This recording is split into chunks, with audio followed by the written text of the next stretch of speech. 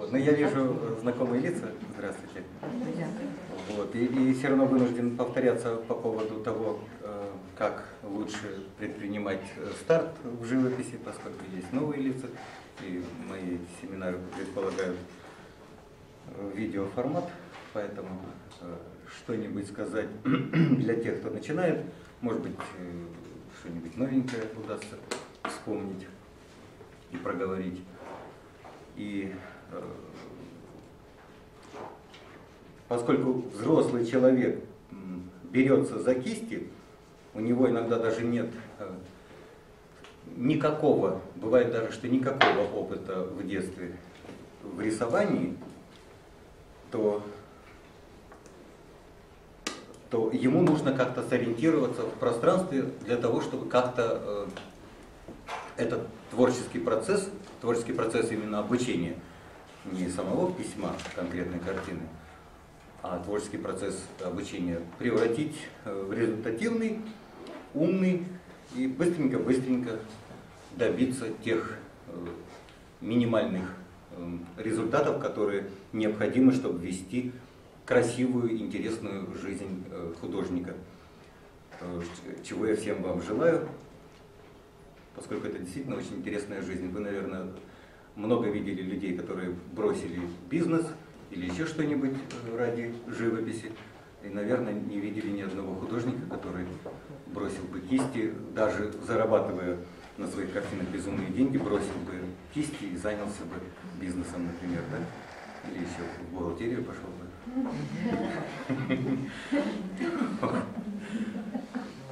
Есть такие, может, извращенцы. А поэтому жизнь художника это, да, это такой был бы вид извращения, который можно было бы в книгах описать. А поскольку жизнь художника очень интересная, ее и нужно усвоить, не превратить э, живопись в каторгу для себя. Вот захотела научиться живописи, или захотел, а в итоге смотришь, какая гора перед тобой, и руки опустились, все это ушло в сторону и снова вернулось в бухгалтерию. Ну или еще куда-нибудь. Вот. Чтобы этого не произошло, а чтобы действительно быстро-быстро получить все блага, причитающиеся художнику. А если вы знаете, может быть, по-моему, в Библии есть слова о том, что художникам э, город благословляется. Понятно, что те города это тысяч пять населения, но э, те былинные времена художникам благословлялся э, город. То есть, если был в городе художник, то это было особое благословение. То есть, э, вот как ни странно, ни, ни, ни композиторы, ни певцы не удостоились таких, такой чести, как художники. Вот. А живопись, она умеет говорить без слов. Вот то, что словами невозможно сказать, говорится языком изображения. Вот. И это дает право художнику выплескивать именно свою, свою эмоцию, свое внутреннее видение своего внутреннего человека на холст. В меньшей, и, и в меньшей степени может быть акцент на, на, ремесленное, на ремесленный успех, что для вас становится очень ценным. Потому что ремесленный успех к вам придет не мгновенно, и может быть для некоторых довольно не скоро, ремесленные достижения. А вот выплеснуть э, своего внутреннего человека, это вы можете сделать в любой удобный для вас э, момент. То есть взять кисти, краски и с пониманием задачи, то есть задача как раз будет состоять не в том, чтобы что-то изобразить, а как изобразить. То есть, может быть, даже вот абстрактно изобразить. То есть в любом случае, когда человек берет краски, он выбирает, это делает, делает определенный отбор, свой личный отбор в цвете, э, свой личный отбор в тех предметах, которые он изображает. И даже наивное изображение этих предметов э, в наше время является языком живописи, то есть наивная живопись, так, так и называется. И, конечно же, это может быть, может найти зрителя, что, собственно, главное в нашем. Найти зрителя, сотаинника этим переживанием, этому цветовому переживанию. Вот.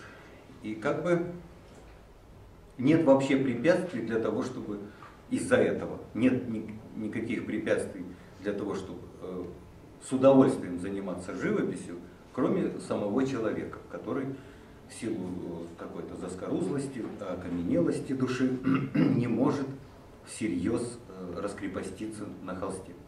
Понятно, что для ремесленников, которые таких как я, как профессиональные художники другие, э, которые получили этот опыт рисования и имеют ремесленное умение, живопись более сподручна, то есть хочу изобразить и изобразил. можно даже не думать. Э, как изобразить? Просто брать и изображать. И ты вполне э, что-то внятное нарисуешь. Но в наше время это внятное не всем интересно. В основном даже не интересно. То есть умеющие рисовать художники потихонечку уходят на второй план. А умеющие сделать имеющие, а, а умеющие выплеснуть свое какое-то внутреннее э, состояние, переживание, вот они становятся, э, собственно, главными фигурами современной живописи. И путь от, от э, начинающего художника к полноценному художнику сокращается просто до... Ну, сегодня можно стать нормальным современным художником. И если преодолеть маленькое условие, так же как у психологов там есть свои терапевтические способы преодоления проблемы человека, также и в живописи можно преодолеть э, свою эту заскорузлость, закрученность, окаменелость, э, остеохондроз душ, душевный. Просто взять и преодолеть, вот, прыгнуть в воду и плыть. Э, что и, собственно, и, и стоит э, сделать э, начинающему, взрослому начинающему художнику. И вот для сравнения, вот импрессионисты, там среди импрессионистов есть люди, которые пришли в импрессионизм, хотя это было век назад или уже полтора, пришли в импрессионизм так, с улицы, из клерков и, и других людей. В силу того, что идея импрессионизма была легкодоступна для исполнения, и это действительно так, то есть выучить живопись а-ля Мане, а освоить, вернее, живопись а-ля Мане, а-ля Ренуар очень легко. То есть буквально два десятка копий импрессионистов, и вы вполне сможете писать в этом ключе. Вы можете брать любую фотографию, э, не картинку уже чужую, вернее, картину, репродукцию картин, а брать любую фотографию и перевести ее на язык импрессионизма. То есть мелкий мазок переводит э, фотографию любую, или вы вышли на, на пленер и пишете с натуры, мелким мазком вы просто сразу переводите на язык живописи. А поскольку это, как правило, деревца, далечки, облаченники, то, конечно, все это очень легко изображается, даже если вы как бы никогда этим не занимались. Потому что достаточно перейти на мелкий мазок, вы получите что-то приличненькое. То есть сама технология дала возможность ну а тем более в современном мире, если полистать э, журналы, походить на выставки, пощупать эту, присмотреться к этой живописи близко, вот прямо смотреться, как они это сделали, конечно, уже попробовав, когда человек попробовал, после уроков многие, э, когда посещают эти музеи и выставки, говорят, как мир преобразился. Я теперь прихожу в музей, я вижу, что, что видеть. То я отходила подальше, чтобы увидеть что ж там нарисовано, а теперь я подхожу поближе, как нарисовано. Вот, то есть вообще мир наполнился живописью. Кстати, если взять даже процентное соотношение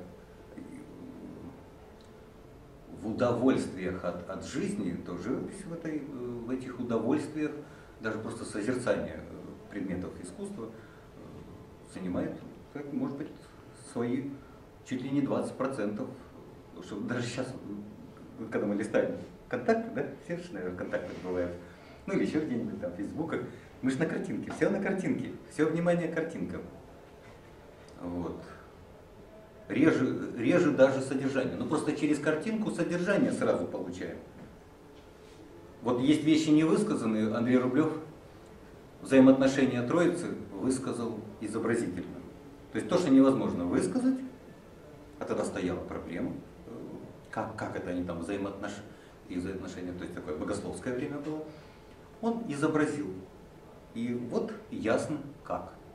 То есть то, что невозможно высказать.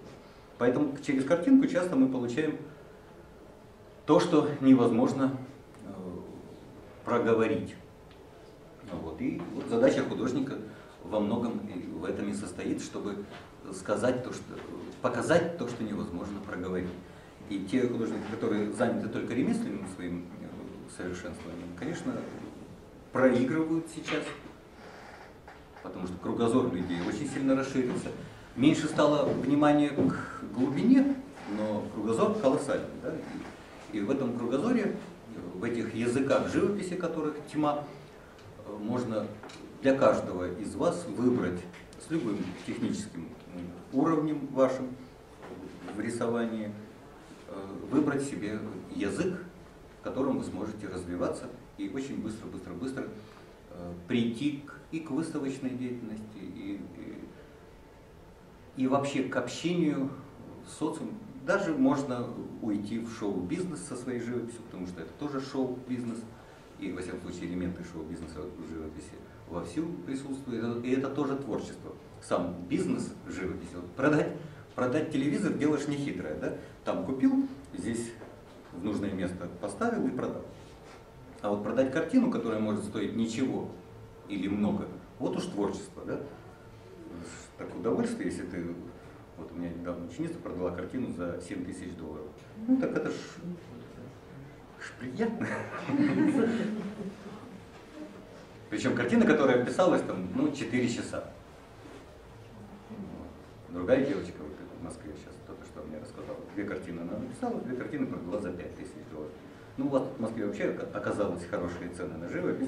Вам вообще, москвичам, москвичам стоит этим заниматься сразу с прицелом на, на продажу. Как собак Потому что пока я давал уроки в Севастополе и, и даже в Киеве, спрос очень низкий, очень низкий спрос и от того, что не хватает э, денег у людей, и от того, что э, общая культура значительно ниже, чем в Москве.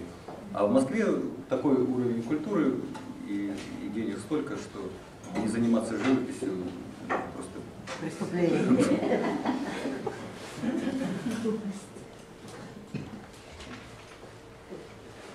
Вот. Значит, я уже как бы немножко эту ниточку э, предпринял в своем рассказе. Я почему это все говорю? Потому что, конечно, у меня опыт общения с новичком э, колоссальный. Прошло тьма людей. И я вижу, что ну, нет практически людей, которые бы не могли бы писать картину. Ну, их даже, даже нет одного процента. То есть есть люди психически немножко не, неустойчивые и паникуют, когда у них не получается. Ну, можете себе представить, как они паникуют вообще в жизни. То есть действительно есть не- некий э, процент, э, некий процент паникеров. Но их тоже очень мало. Вот это коллективное сознание, коллективное удовольствие, коллективное сознание, когда люди вот на общем уроке пишут, все-таки и даже паникеров немножко загоняет к какому-то порядку внутреннему. Все-таки им приходится э, свою, своей панике наступить на горло и э, что-то предпринять. Сказать, что есть люди с таким вывихом, что ну вот ну никак писать никогда не сможет. Ну, есть, есть. Есть не паникеры, но с таким вывихом, что аж страшно иногда бывает. Думаешь, надо же настолько не видеть, настолько ничего не видеть, настолько ничего не чувствовать вот этим местом. Но даже такие люди, э, обычно пару месяцев. Вот есть из них, вот из этих вот, у которых вывих, из них есть люди, которые э, восстали на это в себе и, и- и- говорят, я вижу, что у меня ничего не получается, но я очень хочу э, распробовать это дело, все-таки, чтобы ну, выяснить для себя это. И вообще, я хочу это, я хочу рисовать. Ну, 2-3 месяца, и этот человек работает вровень со средним уровнем легко. А дальше уже просто открыта дорога, как и для каждого из вас, у кого нет вывиха. Опять же, вывих есть у некого одного процента, когда действительно э, аж удивляешься, насколько можно не видеть. Самое большое, э, что, что мешает э, вот, техническому исполнению картин, это отсутствие внимательности художника, то есть цеп, цепкости, расследовательности сознания. То есть мы не расследуем предмет, мы смотрим и не видим. То есть вот это вот пословица «смотрит книгу, видит фигу», это вот очень сильно для, для нас. Это художники все-таки люди, которые привыкли от юности, от всего образования и прочее, привыкли расследовать то, что видят. И э, ну, внимать вот тому, что видят, замечать, подмечать, накапливать э, вот эту информацию в своем компьютере. И, конечно, кругозор их от этого расширяется. Но у них есть другая проблема, особенно у тех, кто от юности приговорен к живописи. У них вот это вот соревнование друг с другом, знаете о зависти творческих людей, это притча во языцах. Вот эта зависть э, часто не дает им, просто парализует их э, творческую деятельность, и несмотря на то, что они картины пишут, от картин зарабатывают, но э, творческий паралич налицо. У вас, по идее, этой проблемы и быть не может, потому что вы жили без живописи, и чего вам завидовать вообще художникам, что они пишут. То есть, если вы беретесь за живопись, для вас это чист, в чистом виде праздник. И соревноваться э, в ремесленном успехе э, с профессиональными художниками вам, по идее, не должно в голову прийти. А, с- а высказываться вам легче, потому что профессиональный навык не мешает этому высказыванию. То есть вы можете писать, как дышится, так и пишется. Что как раз в наше время и взыскано э, обществом, зрителям. И это вообще, ну, вообще вашему, вашему положению можно позавидовать из среды художников. Потому что там пауки в банке. Они еще общаются друг с другом. Э, Ну, вот это вот сальеризм вот этот э, процветает страшно. А у вас вообще вы настолько свободны от этой банки. То есть, Знание что скажут коллеги, героев, по, да? да, что скажут коллеги, коллеги по цеху, для вас вообще ни- никак. Вы можете даже никогда с ними не сталкиваться. Просто не, ну, не- сталкиваться. То есть на свои выставки звать э, не художников, а, а, и не потому, что вам нечего будет по- показать, а потому что ну а зачем вам художники? Вам нужны зрители. А коллеги по цеху, если они оценили хорошо, если, кстати, оц- оценивают часто э, из вас многие, когда приходят одевать в рамы, говорят, ой, какая красивая картина. А кто это, дескать, что за имя это писал? Хотя часто человек практически уже самостоятельно пишет на моих уроках, и я там, ну, только хожу, хвалю. Я иногда даже э, многим ученицам, которые там уроков по 50 прошли, говорю, «А даже непонятно, зачем вы ходите. Вы и так все умеете. Говорят, ну, это раньше я могла без вас легко писать, а теперь уже не получается. То есть нужен, нужна похвала, нужен, нужен коллектив, нужна вот эта движуха. Поэтому и в этом смысле тоже, опять же, вам хорошо, потому те, кто пока они студенты, вот эти профессиональные художники, им там тоже хорошо. Они еще не так, э, они еще не пауки в банке. Они потом становятся пауками, когда разбредаются по своим мастерским и мечтают о, о славе великой, а к одним приходит, а ко многим не приходит эта великая слава, и вот начинается это внутренняя мучача. А у вас вообще этого не- не должно быть. И у, у вас может получиться та тусовочная студенческая жизнь, от которой балдеют все э, студенты вот, художественных э, вузов. Там действительно атмосфера настолько жизнеутверждающая и нарядная, что вы можете себе позволить сейчас. То есть вот, многие же хотят э, почувствовать молодость и, и просто даже омолодиться. А для нас, женщин, это вообще важно. Правда? Ну да. Я бы говорю для нас, потому что я же уже практически ваш. Ну, согласна, согласна. Мертвому говорите, звоню, поднимите, рисуйте. Я тут с вами и сам Все, мы полаживаюсь. сдались, мы рисуем. Весил на 20 килограмм больше. а При таком обилии женщин просто нельзя весить. А что, всегда вот такой расклад э, Да. гендерный, да, по гендерному? Это есть, сегодня у нас много мужчин. Вы что, Редкие это мужчины. много сегодня. Мужчины как-то умудряются, умудряются до 20 смотришь столько, или там до 25, столько творческости, столько ученичества внутреннего. А потом как стал на каких-то уже принципах и давай бухгалтером. Всё. солдафонеть. Вот. А женщины, они, вот как кошки, да? Кошки же они всю жизнь игривы. И шляются А везде. Кошак играл, играл, играл. Ход. Вырос, все. Он ходит. Большого Только толстого кота. битвы какие-то там великие совершает. Поэтому э, женщины, конечно, в этом смысле вообще э, хороши. Говорят, что у женщин интеллект на 15% отстает от мужского. Именно интеллект. Интеллект. Ну так не, не, не интеллектом же единым. Это, мужчины так утверждают, а женщины с точностью. Может быть, все-таки в ней общий фон может быть и таков. Но эмоционально женщины настолько подвижны, настолько интересны. Ну, что, кто интереснее, солдафон или человек эмоциональный? Ну, конечно, солдафон вообще не интересен. Они же все как, как нарезка эта колбасная. А люди эмоционально подвижные, они разные, они со своими там особенностями.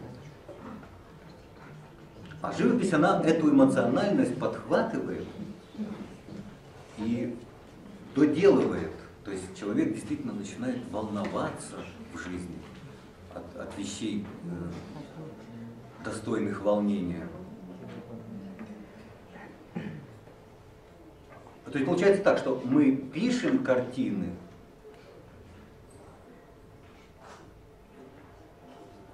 мы волнуемся, чтобы написать, и мы пишем, чтобы научиться волноваться. Получается, это взаимный процесс. Опять же, если нет зависти, то это жизнь просто, жизнь цветов на поляне. Это одно удовольствие. Ну и а, у цветов есть такая потребность нравиться. И вот у нас, как у художников, как у женщин, появляется вот эта э, возможность нравиться и так, и сяк, и бряк.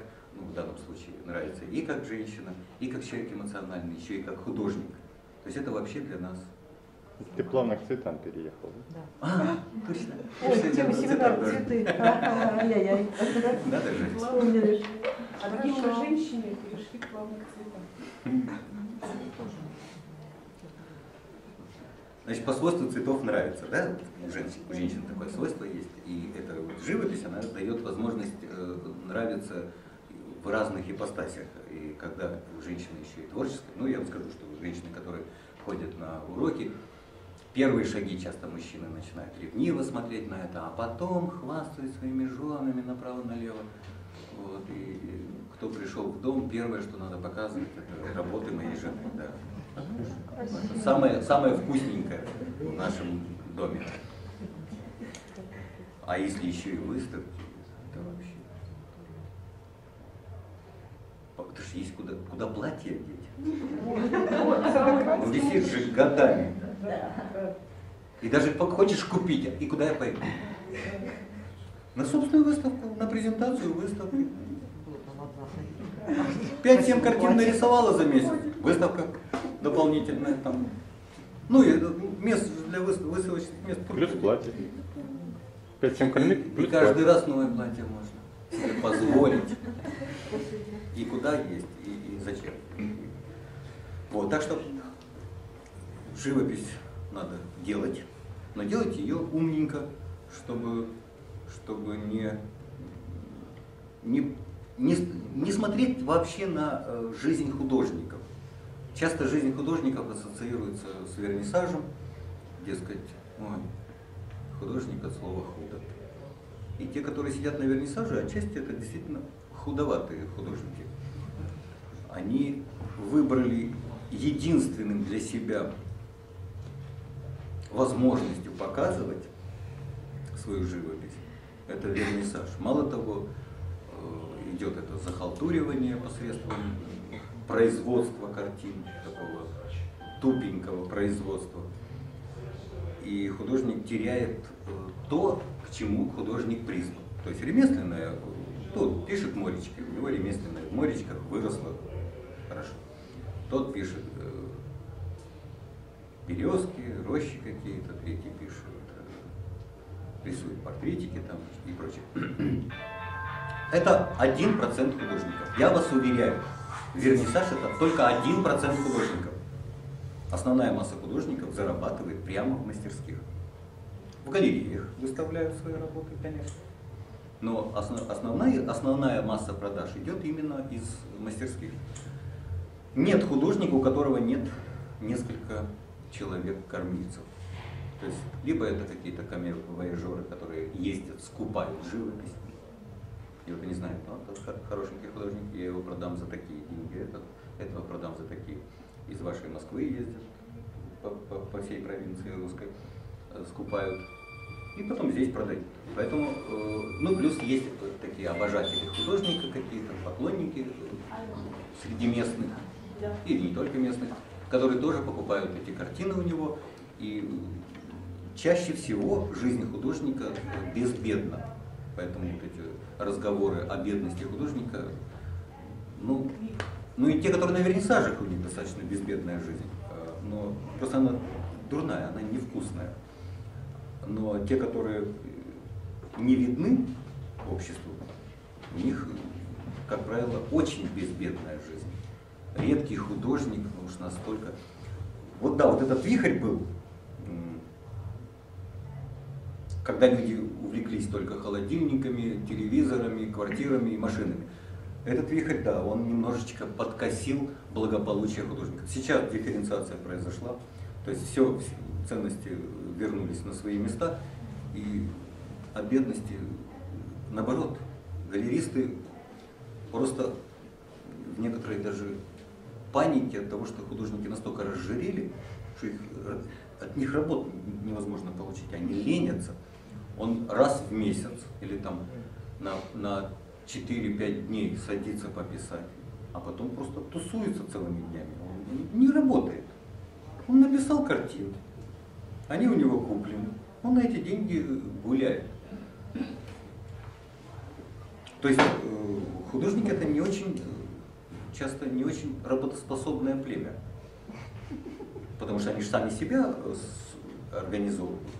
Вот. И если речь идет о кормильце семьи, то сказать, что он стоит на страже, иногда трудно, потому что он ждет, когда у него там накопится. А для этого нужно погулять, походить. Вот. У вас немножко другое. Вы как раз привыкли работать, и вам это ничего не стоит. Потому что вот художники, они как раз привыкли не работать. Им как раз чего-то стоит взяться, э, написать, особенно когда это пожизненное, э, когда это действие стало уже слишком привычным, уже даже где-то поднадоело, а все равно приходится. Но опять же, поднадоело это очень условно. Это так же, как икра надоела, э, и какие-то другие приятности. Море надоело песок, пальмы, все это надоело. Это вот так. Если живопись надоела, то это вот так.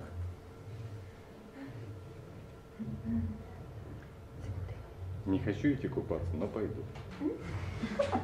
Пойти бухгалтером придется. поработать. Чтобы стошнило бухгалтером поработать, и сразу заходишь опять Да, да, да. рисовать. Это так же, как русский человек сетует на, на то, что жизнь вокруг какая-то дряная, а когда уедет туда, поживет там, вроде как очень хочется обратно. Вот. Но живопись это еще, еще больше. Это э, если художник э, отлучен от живописи, вот это будет действительно пытка. Ну, в силу там каких-то внешних причин. Вот, так что я думаю, я вас вполне сагитировал э, заниматься живописью. В всяком случае, себя я точно убедил, пока я вам это говорил. Единственное, что э, э, я не смогу уже побыть в вашей шкуре, я уже как бы побыл в вашей шкуре в молодости, а сейчас уже не смогу. А вы эту молодость можете иметь сейчас, эту молодость э, сознания, когда вы вдруг открываете для себя чудесный мир. Вот, а вы ее можете иметь сейчас в изобилии, потому что красок навалом, спрос есть. А, Главное, чтобы вы преодолели в себе некоторую боязнь, а, нашли а, правильных учителей. Вообще, на самом деле, выбор учителя – это задача. Потому что даже вот многие студенты, э, выпускники и прочие художественных э, учреждений, они потом часто, вот там Иван Иванович говорил, и вот Иван Иванович сказал когда-то, никогда не бери мастихин в руки. Что если художник взялся за мастихин, то ему больше нечего сказать. Сказал ему Иван Иванович, его педагог. И вот художник лет 20 потом, это я про себя, боится взять мастихин. А то потом Потому что мне, мне ж больше нечего сказать, если я уже взял мастихин. Но благо я имел другой немножко путь, мне там мастихин и, и не понадобился ну, церковной живописи. А для других студентов это вот было, была такое табу большой проблемой. Сейчас, вы знаете, я наоборот все время балуюсь с мастихином. И вам, кстати, советую начать э, свою творческую, э, учебную творческую жизнь с инструментов как бы нетрадиционных. То есть как бы есть традиционный инструмент кисть.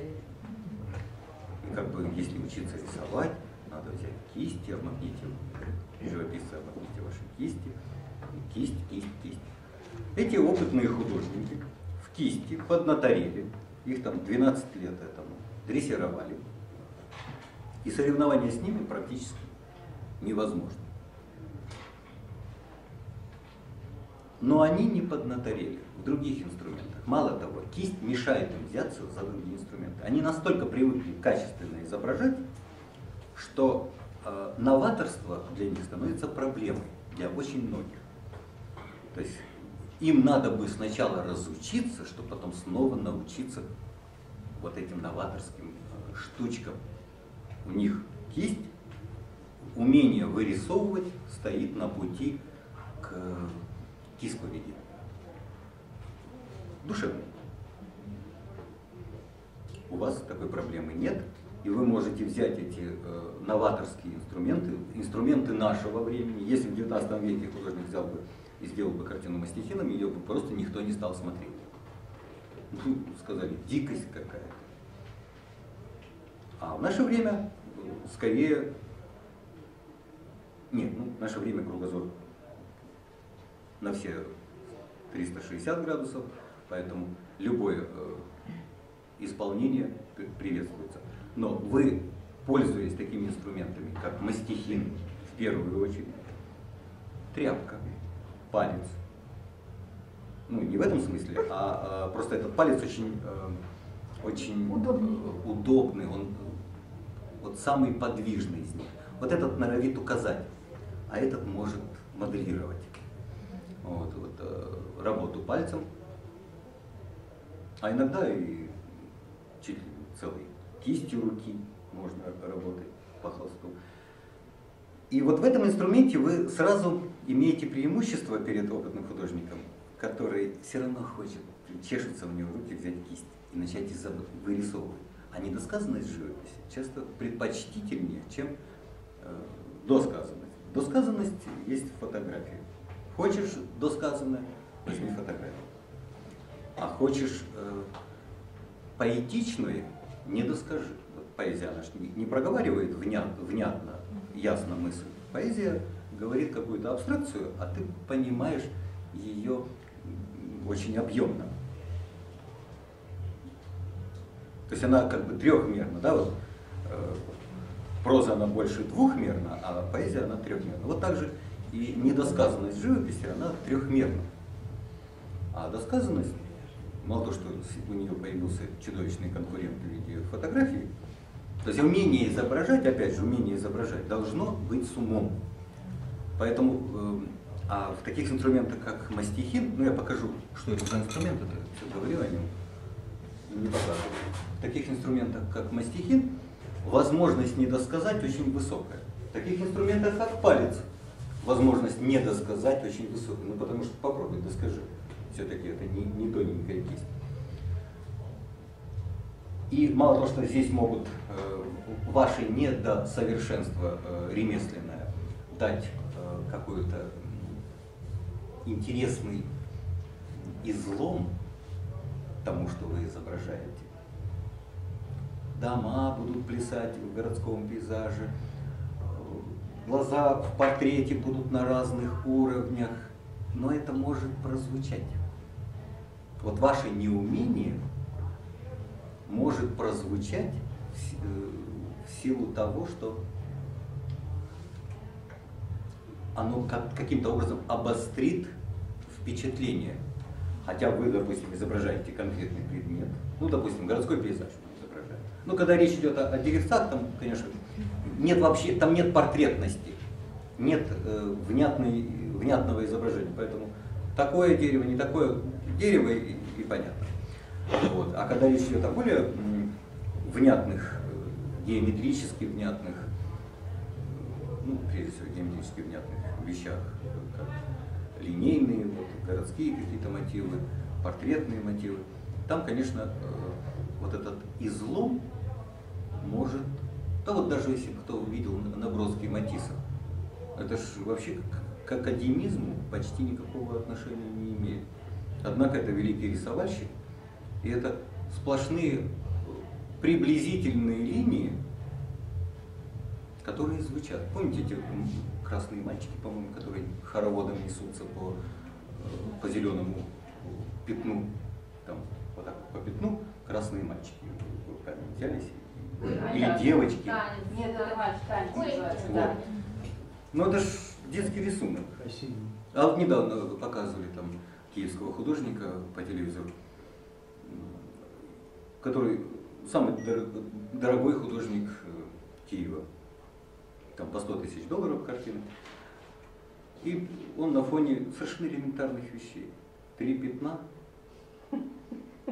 Одно красное, другое рыжеватое, третье синее. Причем гигантского, гигантского формата, то есть там метра три на три, такой квадрат. И он на фоне этой картины, рядышком пару небольших картин, примерно такого же содержания.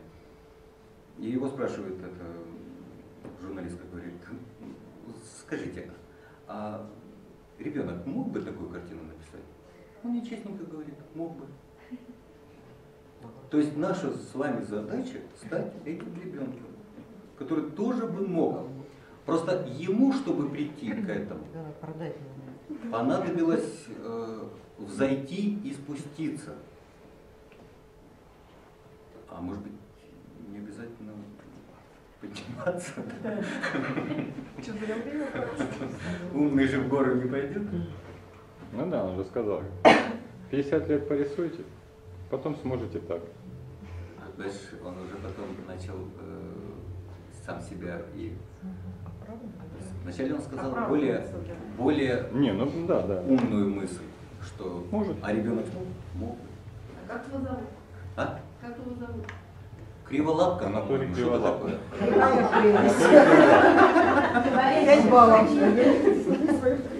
Как, как прокурор, так Зверев. Как художник, так Криволапка. Бенедикт Малевич был с черным квадратом. Так что- С Малевичем и черным квадратом там э, много версий, как это произошло. Но от- мне больше всего нравится другая версия. Когда пришел э, в какое-то сообщество художников некий финансист и говорит, что вы тут, вот, ра-» а они там рассуждают о высоком, о великом. Он говорит, что вы рассуждаете? Дайте мне черный квадрат закрасьте мне черным холст, я через год, э, он, оно, этот холст будет стоить миллион долларов. Ну а дальше шоу-бизнес. Когда, просто когда люди видят, что на картину, на картину поставлено, они понимают, что я сейчас куплю ее за 50 тысяч долларов, а через э, год я ее уже продам за 100 тысяч. Потому что видно, что на это поставлено. А для того, чтобы это было видно, нужно тоже, это творчество, это очень интересное творчество.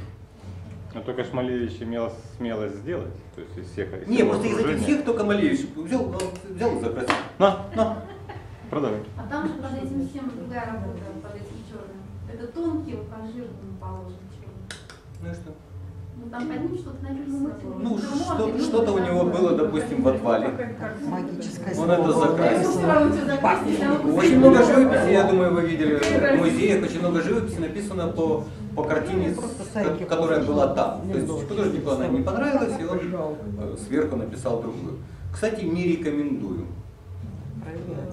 А переписывать. Значит, если вы, допустим, ну, не вполне довольны картиной, это не значит, что надо ее без конца переписывать и переписывать и Ну, переписывать. Снимите ее с подрамника, скрутите в рулон, пусть лежит. Я вам скажу, из рулона картины очень хорошо продаются. Когда ты перед... Можно же даже потом, когда вы уже, вас будут знать несколько ваших покупателей, появятся поклонники, вы можете дать им в лич. Э, У меня в рулоне есть картины, э, от, от- которые я э, убрала в рулон по разным причинам. Распродаж. Распродажа. Но из рулона она выглядит совсем иначе. Через год достанется за любую. Да, да, да, да, да, да. Она какая-то уже намоленная, она уже такая, хотя в рулоне там валялась, но она как, как вино, как вино. В этих подвалах она набрала Игорь, а можно ли наружу холст закручивать? наружу, Наружу, наружу. чтобы живопись не Да, сломалась, да? чтобы живопись была наружу, вот с, с- верхней стороны. Потому что иначе оно скукожит и потрескается. Ну, опять же, если потрескается, может быть. А если холст на картоне не отодрать от картона. То есть не советую переписывать картины. Но это экономически невыгодно. Ну не нравится, скрутите. Сняли с подрамника, скрутили. На подрамник потом одели другой холст. Причем не сами. Это все надо делать в мастерских, пусть там специальные люди есть для этого. Совсем не обязательно женскими руками натягивать холст. И вообще э, не советую ни грунтовать холст, ни по собственному произволу покупать кисти и прочее, прочее. То есть, чтобы выбрать кисти, к сожалению, вам опыта не хватит. Чтобы выбрать холст, вам опыта не хватит. То есть для этого действительно вам нужен учитель, вам нужен э, советчик. Чаще всего в салоне э, девочки, которые продают эти материалы, там текучка кадров, и даже если бы не было бы этой текучки, на такую работу идут люди э, не интеллектуальные Сейчас никого не не, обучают. Да. не обученные и прочее, прочее. Поэтому они, ну и вообще у них задача вкорячить, они, они как-то сделать что-то приятное. То есть им нужно продать продукт. Вот. Поэтому, если вы в салон пришли, ну, подыщите либо студента, либо э, художника, вот видите, наверняка художник. Подошли, попросили, скажите, помогите мне выбрать холст. Ну, спросите, не художник ли вы, не студент ли вы художественного института. Ну, и студенты часто тоже не знают, что выбрать. Поэтому вот, выбор материалов для вас это самая большая проблема, которую э, мы, кстати, вам будем помогать решать. То есть понятно, что я буду на этом, на вас э, зарабатывать в этом смысле, но э, для вас это будет панацея. Потому что сами вы выбрать материалы не можете. Ну, отчасти можете, отчасти, но только отчасти. То есть в магазинах чаще всего нет хороших кистей. Это самая большая проблема в магазинах, потому что их скупили сначала профессионалы, потом полупрофессионалы, и вам осталось то, что осталось. Холстов стоит много, многие из них упакованы под пленку. Даже потрогать нельзя, что ты получишь. И тоже, как какой холст покупать, какую зернистость э, выбрать и тому подобное. А если аналогию, так допустим, посмотрели, какая, может быть, даже вырезали кусочек, пришли и смотрите, аналогия. Именно внешнего покрытия, конечно, не внутреннего. Многим хочется, чтобы это был обязательно лен, потому что ну, это раньше на льне писали, а сейчас ХБ при- приводит в такое состояние, что он вполне имитирует лен. И самое главное, это покрытие э, именно учесть. Э, Хотя можно купить хороший холст, вполне. То есть, если вы наткнулись на какую-то фирмочку, пощупали этот холст дома, смотрите, отлично. Вот все те эффекты, которые вы хотели добиться, все они получаются. И вы уже просто узнаете, вы всматриваетесь в производителя и покупаете этого производителя. Тогда Ну, хочу так сейчас- проблем нет. Что это? Очень много холстов хороших, хочу обратить внимание. Рассчитаны, очень много хороших холстов, но они рассчитаны на кисть. То есть все И вообще на разные, на разные Да. задачи. Бывает такое очень крупное зерно. Ну просто вы не будете знать, что там делать.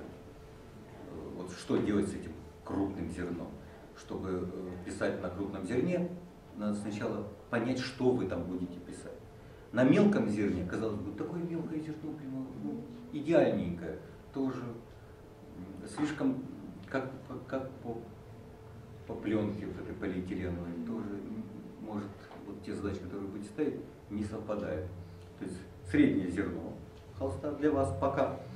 А дальше уже по мере задач, по мере того, как вы со своими учителями будете выяснять ваши приоритеты, будете выбирать тот холст, который вам удобен.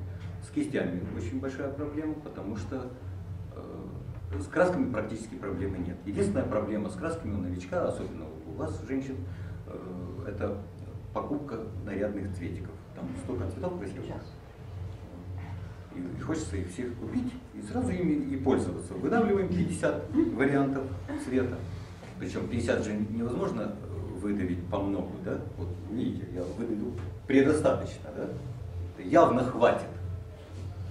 А если у вас 50 всяких цветиков, то 50 вот так вот по, по такой куче не выдавишь. И вы выдавили совсем по чуть-чуть, а это чуть-чуть, оно не может участвовать в картине. В картине есть композиция цветовых пятен в том числе. То есть вот красный в картине, вот отдельно красный в картине имеет свою композицию. Отдельно синий в картине имеет свою композицию. Когда идет разноцветица, то нет выраженности ни, допустим, внятно красного, то есть этот же, допустим, голубой, хорошо, с голубым попадением, он же в небе, он же в тени, он же в цвете предметов. То есть есть каркас этого синего. Вот. Один цвет вы взяли, и этот цвет стал каркасом всей картины. Синим каркасом всей картины. А когда у вас много разноцветицы, особенно вот это телесное, вот, вот куплю и прямо сразу, ну тело ж оно только в некоторых местах будет соответствовать тому цвету, который вы выдавили из те- телесной, неаполитанской какая-нибудь, да? Красивые цвета вот эти. Выдавили, и оно только в трех местах на лице, вот так, в такого размера эти места, будет соответствовать этому цвету. А все остальное это смеси, смеси, смеси. Поэтому в принципе краску можно убрать. А если вы хотите ее воспользоваться только как финишным цветом, то есть в последний момент, вы чистыми цветиками можете дополнить картину. А каркасным он быть не может. То есть тем, что мы зами- за- заквашиваем картину, он не может быть. Поэтому покупка вот этих вот этой разноцветицы в магазинах должна прекратиться. То есть можете иметь все варианты, но у вас должна быть гвардия красок. И эти краски, слава богу, продаются. Эти краски называются очень простым именем мастер-класс. Э, Я не являюсь дилером. Вот. Но лучше этих красок ничего в мире не придумано. Можно быть равными, но лучше не бывает. И, и слава богу, их производит Питер, поэтому э, они никогда не прекратятся. И если вы привыкли к каким-то краскам, а потом вдруг с этой страной перестала взаимосвязь быть, и, и вы привыкли, а оно уже, и вам нужно переходить, привыкать немножко к другим краскам. То здесь вы один раз привыкнув, будете пожизненно иметь отличные краски. В них достаточно, у них прекрасная консистенция, что очень важно для красок, консистенция. И у них э, хорошее, э, могучее вот это цветовое вещество. Оно, если вы, вот клей ПВА, он же белый, да? Выдавливают белый, высох, прозрачный. К сожалению, масса красок вот, выдавливаешь желтое. Только смешивать. А желтости в ней нет.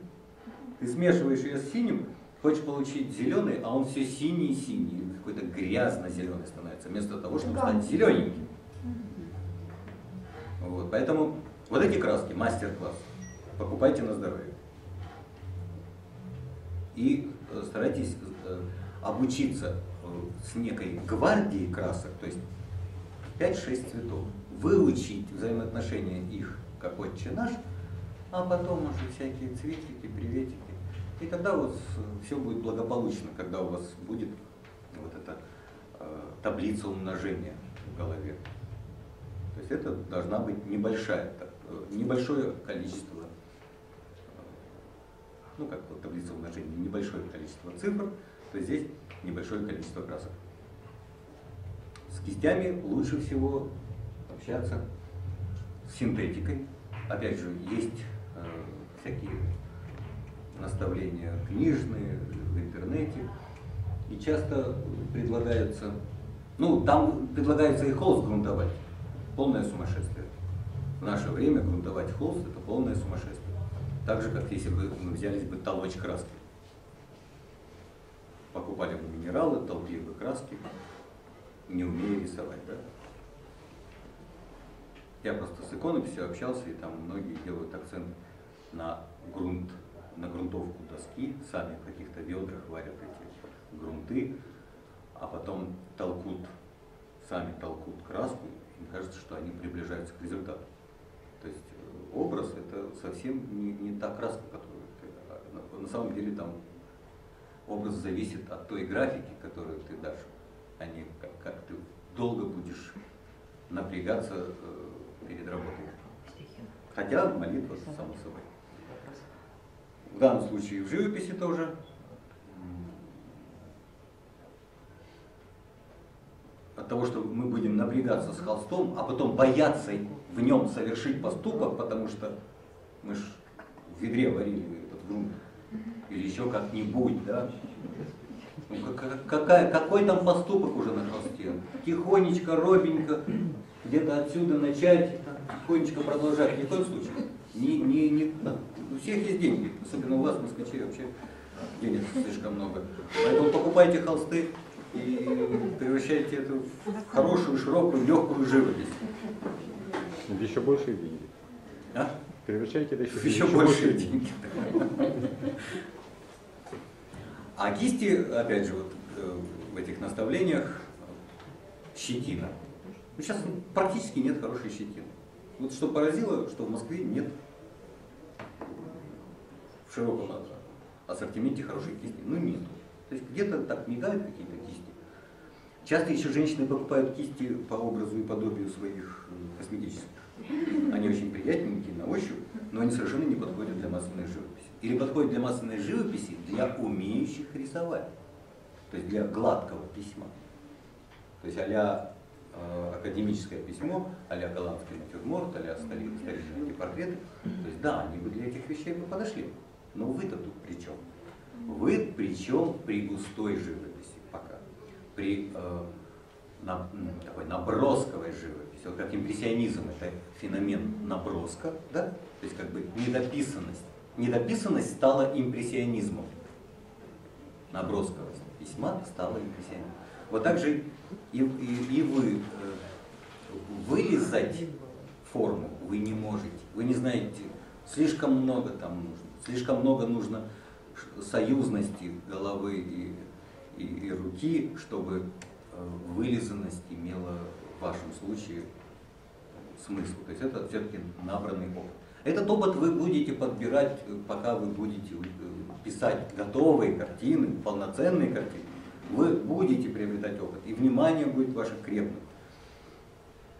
Но э, На первом этапе так подобные кисти для подобной живописи вам не нужны, вам нечего ими делать. Поэтому для вас. А щетины хорошей нет.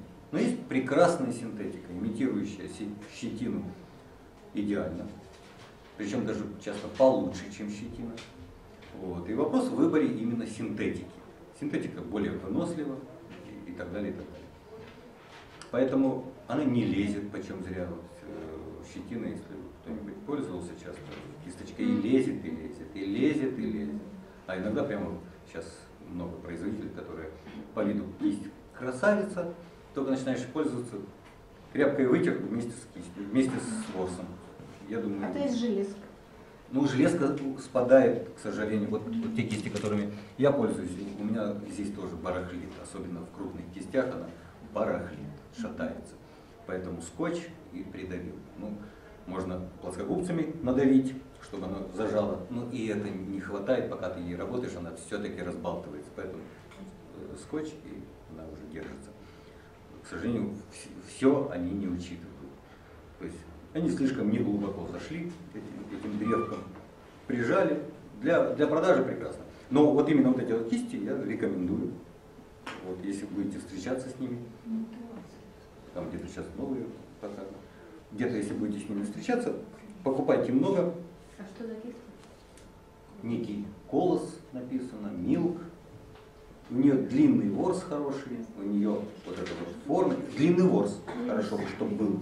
Хорошо бы, чтобы плотность кисти была достаточная. Бывают такие худосочные, э, худосочная плотность, что она вещества не может взять с палитры. То есть, ну вот кисть э, как бы и идеальная, вы в принципе можете даже купить по одному образцу у меня, просто чтобы знать, с чем вам нужно сталкиваться. Либо покупаем такие же, допустим, либо покупаем аналогии. То есть бывают кисти других производителей, которые очень э, похожи на, на вот это по качеству. А это кто производитель?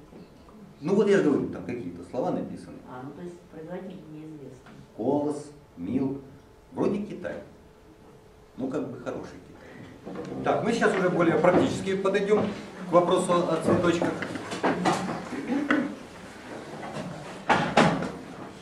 В том смысле, что есть проблема, то есть вот еще один момент. Значит, э, если мы хотим, ну вот душа у нас лежит к цветам, то выяснить проблему цветочного натюрморта, то есть натюрморт, где главное действующее лицо цветы, выяснить эту проблему для себя, в принципе, очень легко. То есть если мы э, все темы хотим освоить, конечно, перегрузка будет высокая. И информация из цветочного будет вылетать. То есть у нас будет много мелкой информации и не будет насыщен главный э, выбор наш. Поэтому, э, если вы хотите быстро прорваться к результату э, техническому и интеллектуальному в вопросах, допустим, цветов, то надо сосредоточиться на цветах, на, на, грубо говоря, на 20 картин сосредоточиться. Если вы хотите портрет, то сосредоточиться на портрете на 20 картин, на пейзаже, если вы хотите пейзаж, выяснить для себя. И даже, может быть, стоит именно так и поступить. Выбрать для себя тему любименькую и стать в ней специалистом быстро, а потом уже прибавлять остальное, имея вот этот фундамент. Так же, как гвардия красок дает фундамент э, палитре вот, в работе с, со смешением красок. Также и здесь надо что-то выбрать, желательно что-то выбрать, чтобы не рассеивалось сознание. Потому что потом забудете, как, что там главное, что тут главное, на, чем э, сосредоточиться в этом или в том. Поэтому если тема цветов для вас очень актуальна, а для женщин эта тема для очень многих актуальна, вот, то стоит над, над ней поработать цельно, не распыляясь. Так и я говорю, что стоит. Это можно и не делать, но стоит поработать цельно. Выяснить для себя эту тему, и потом уже новые темы прибавлять, прибавлять, прибавлять. Обычно все-таки на уроках люди пробуют себя в разных жанрах, и- и 50 раз пишут, но часто все-таки где-то к 50-му уроку человек уже выбрал какую-то стезю, чаще всего, как ни странно, тему ню. В основном все уходит почему-то в тему ню. Может быть, потому что эта тема э, пикантна, что она волнует больше. Но некоторые застревают, вернее, э, уходят в цветочки, кто-то в пейзажики. Ну вот, как, когда речь идет о цветочках, ее, эту тему, надо осмыслить.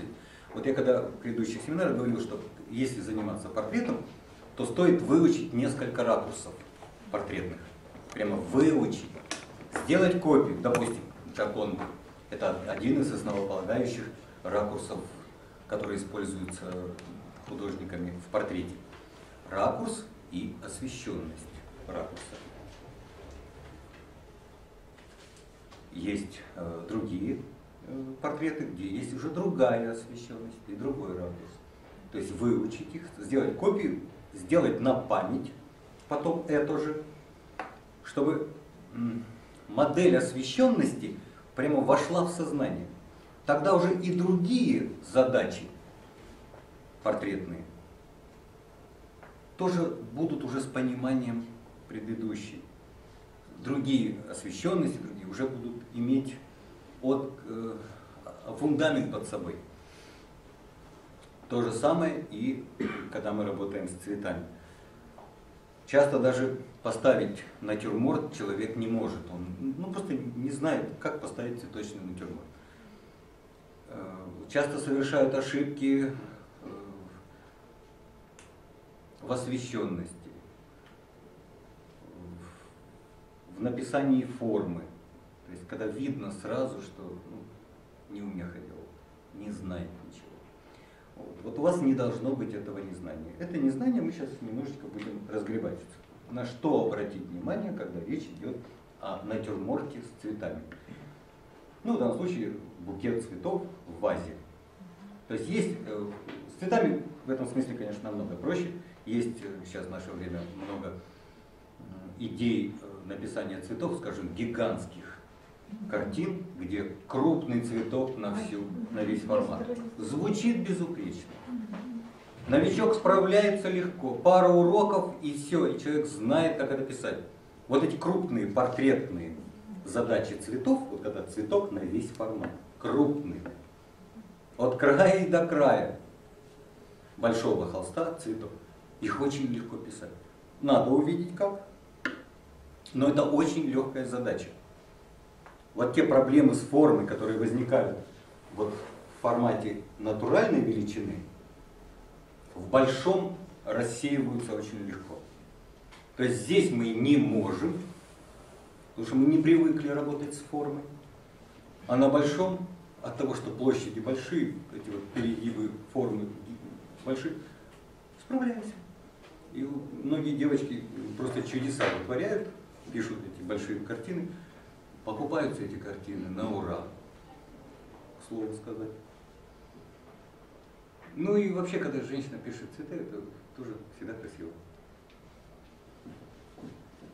Вот. Но сейчас не о больших цветах. С большими цветами очень просто. Значит, несколько уроков у меня и пишем.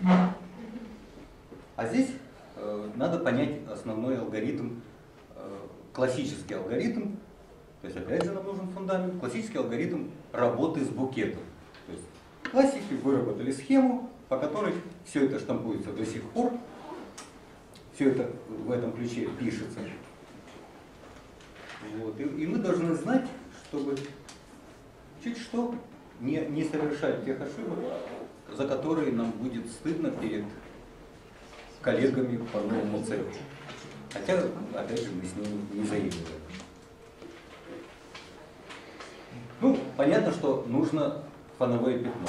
Всегда лучше набрать сначала полностью фоновое пятно, полностью, а потом уже вписывать содержание. Ни в коем случае не стоит сначала нарисовать цветочек один, второй, третий. Вот мы порисовали все цветочечки, порисовали, порисовали, кувшинчик нарисовали, а потом начинаем обкрашивать.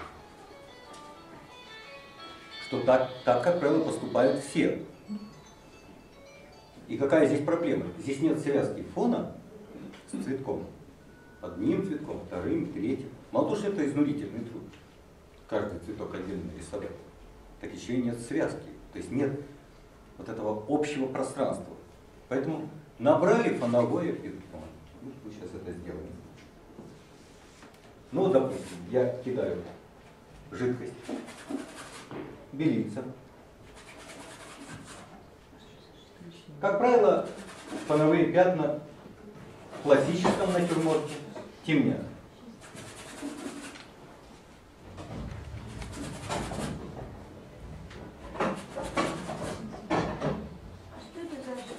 Разбавитель.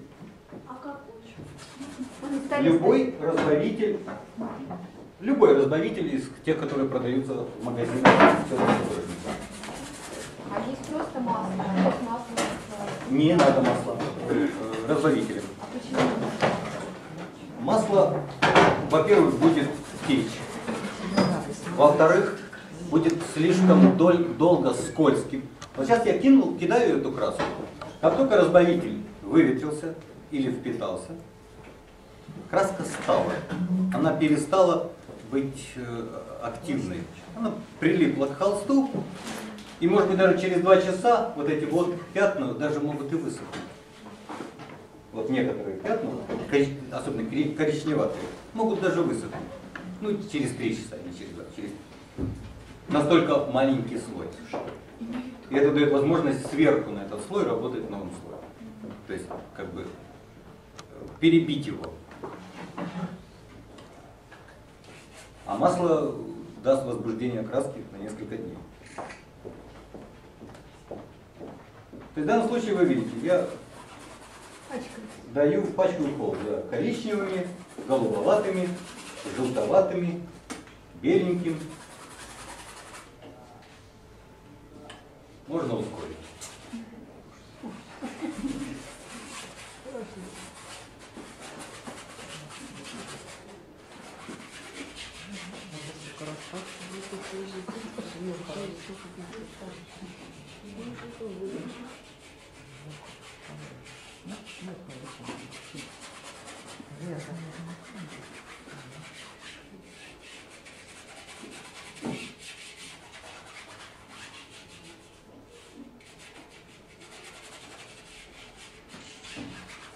А надо где-то темнее, а где-то Да, вот вы думаете о Да, том, да. что где вот что-то... Ну, первое, что я, о чем я думаю, это надо просто избавиться от белого, чтобы он... Нет. А так все одинаково, а там светлее. да? Не-не-не, пока без ума. Просто, просто избавляюсь от белого. Ну, потому что здесь у меня пока маловато краски. Здесь достаточно, а там маловато. Поэтому я чуть-чуть добавлю еще. Нет, нет, нет, пока, пока это без, без ума. Просто избавляюсь от белого. С умом здесь количество влаги. То есть оно, вы видите, довольно большое количество зашло разбавителя, да? Конечно, хорошо было бы, чтобы не все было слишком однородным. То есть, чтобы э, где-то мигнул темнотой, синим, синим, а может быть светлотой синий мигнул, где-то мигнул коричневый, где-то может быть краснинку даже подсунуть, желтиночка.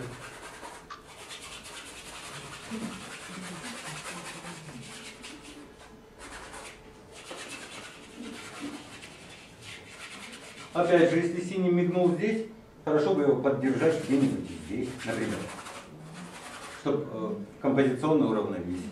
Если красный мигнул, допустим, в этой стороне картины, то хорошо бы где-нибудь хотя бы маленький лоскуточек мигнуть здесь. Ну, желтый там где-то помигал. Коричневый он, в данном случае, видите, как каркасный цвет. Он.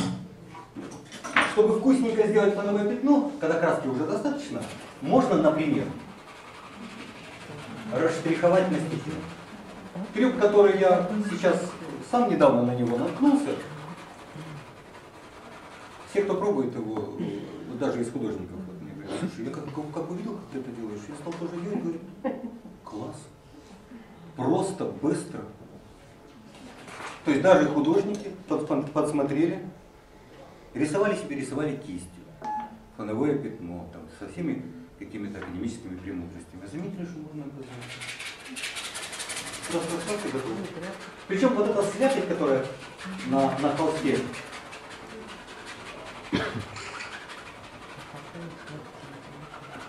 то есть нужна, так- такое количество краски нужно, чтобы вот буквально было что гонять. Потому что вот здесь, видите, мало. То есть туда нужно как бы дополнить красочки. Вот здесь вы видите маловато, суховато. То есть такие места стоит подбросить краски. Причем плюс белила. Белила дает э, вещество обильно. Плюс влага.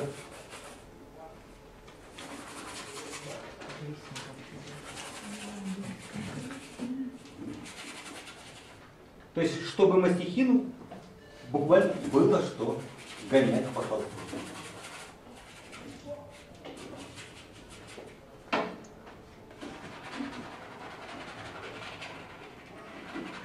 Часто, ну даже было такое, такая притча э, о художнике есть. Приш- привела мамочка э, свое, свое дитя художнику, научите его рисовать, я очень прошу вас. Он будет вам толочь краски, он будет вам фон красить. Вы знаете, фон до сих пор не, не научился писать. Э, Дело в том, что фоновое пятно, несмотря на свою простоту, ну, требует какого-то решения. Это не должно быть просто выкрашенное что-то. Это должно быть что-то живое.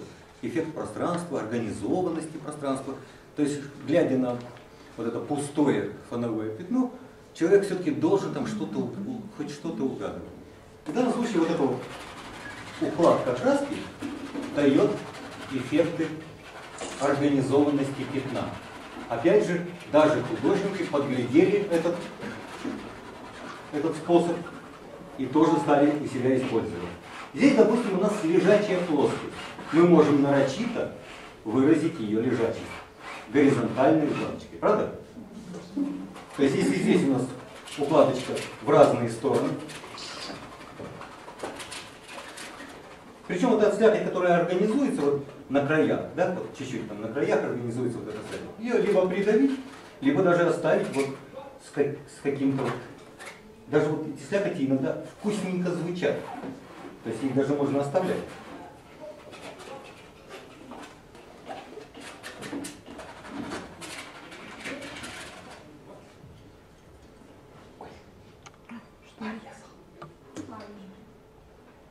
Мастихины, когда долго в употреблении, они заостряются и можно порезать палец. Сейчас покажу. В общем, до первой крови. Поэтому иногда да, до первой крови. Потом стоит заменить мастихин, потому что будет резать очень часто. Или палец, да?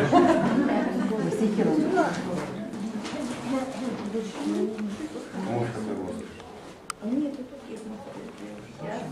Вот этими опасными предметами. Не такой еще. Так что, несмотря на то, что по идее мастихин вечен, ну, Чем-нибудь дать долепить? давай. Отлично. Подготовился, знал, куда шел. Опасные предметы кругом. Пластыря набрал. Чем мы, кажется, рисовали все ваши приезды? А, вот я на всех мастер-классах была. Опасно для жизни, оказывается. Уж что-то крови. А мы так доверчиво брали ваши мастихины в руки три месяца подряд. Вот оно что. Действительно, именно когда много. Потом, знаете, сколько у меня мастихин в бою? То есть он бесконечно в бою, поэтому затачивается. А затупить можно? А? Не, можно, но это ж надо Сколько я зарезала, А чуть-чуть сколько перерезала. Ну да, просто шкурочками. Действительно, поскольку вот такие А, проблемы возникли, порезал, то действительно стоит немножечко, их- но он все равно уже утончился, он опять очень быстро заточится, потому что он стал просто слишком тонким. Использовать уже по- по-другому назначить. Можно его посадить по периметру. Хорошо. Ну, а все равно тонкость уже А, его все понятно. наступила, и он очень быстро заточится. Металл, но все-таки он не вечен перед человеком. Мгм. Так, хорошо. Значит, плоскость, на которой это все будет происходить, можно сразу обозначить как некое освещенное пятно. Обычно самый, самый лучший способ, э, когда свет заходит отсюда. То есть вообще взгляд зрителя заходит в картину с левой стороны. Это нау- наука там исследовала. взгляд заходит по вот такой траектории, и наша задача здесь этот взгляд поймать и закрутить в центре. То есть, чтобы человек крутился и рассматривал то, что мы ему предложили к рассматриванию.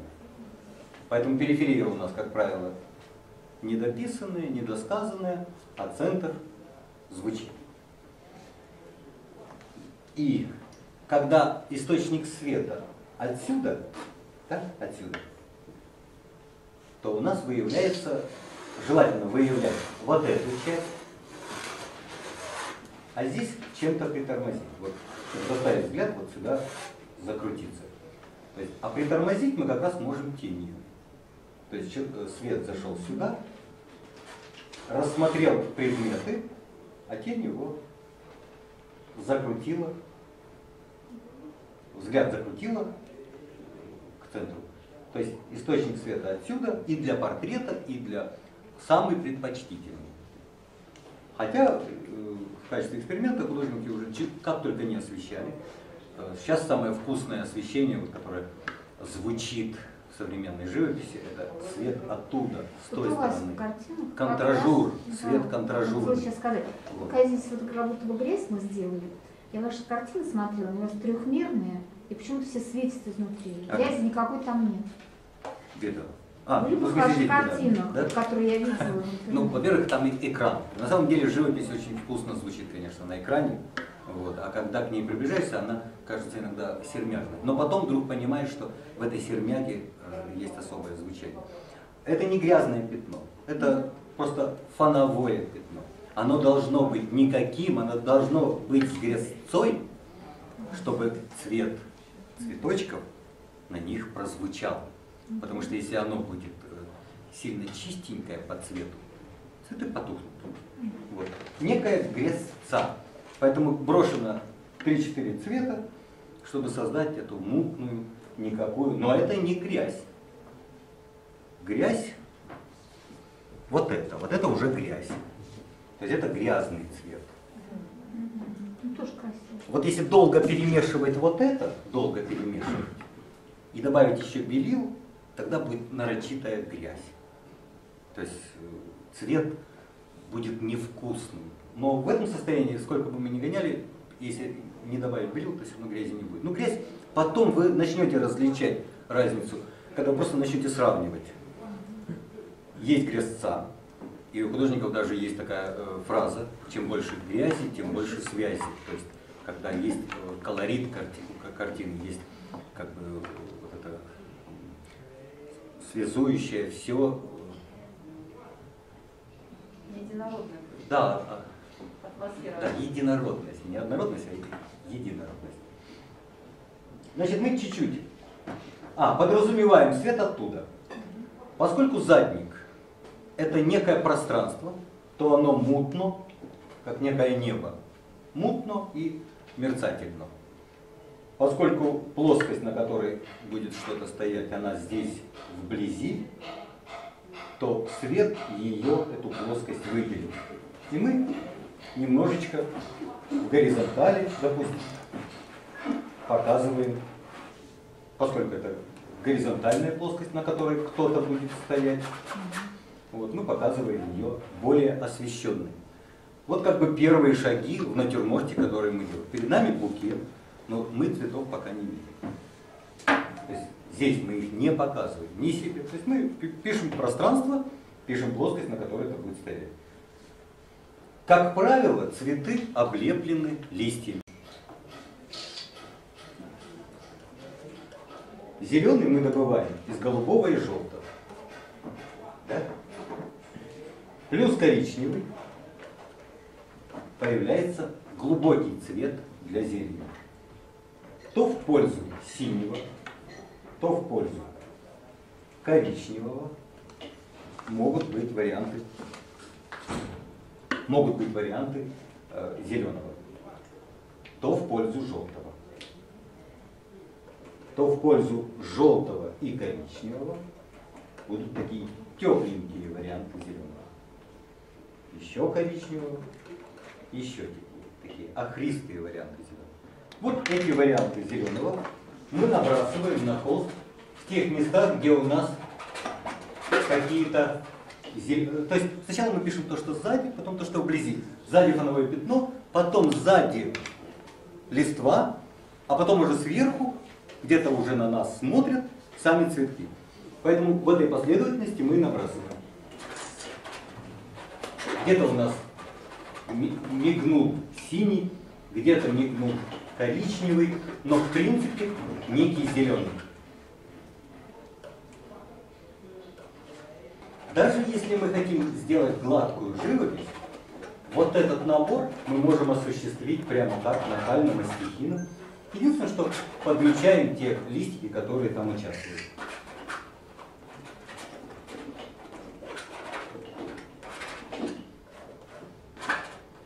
Как правило, листья по- повисли, вот они размахнулись и повисли. Цветы больше выстроились. И вот эту размашистость листьев мы набрасываем.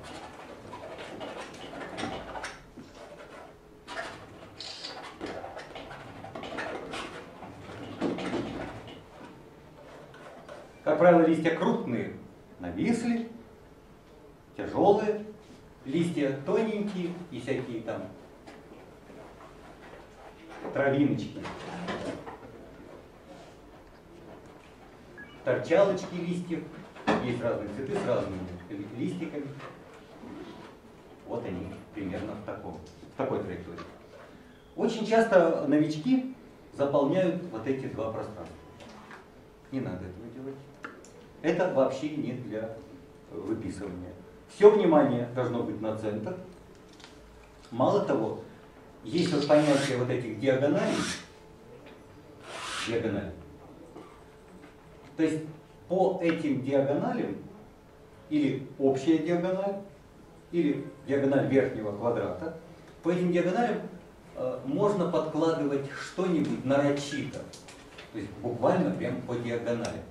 Но тоже не симметрично, а неким образом подразумевая, что средняя линия вот этих пятен идет по, по диагонали. Это хороший трюк композиционный. Он сковывает внимание зрителя на центре. Именно вот этот диагональный.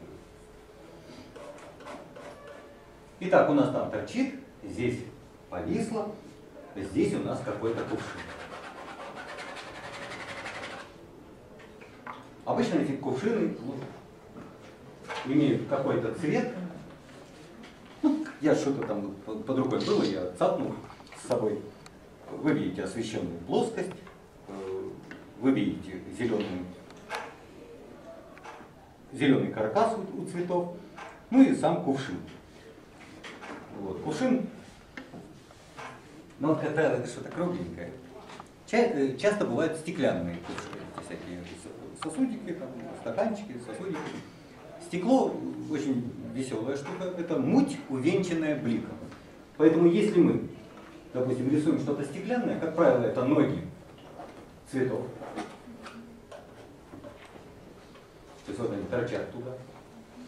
Вот этот пук цветов собранный. Там листики какие-то.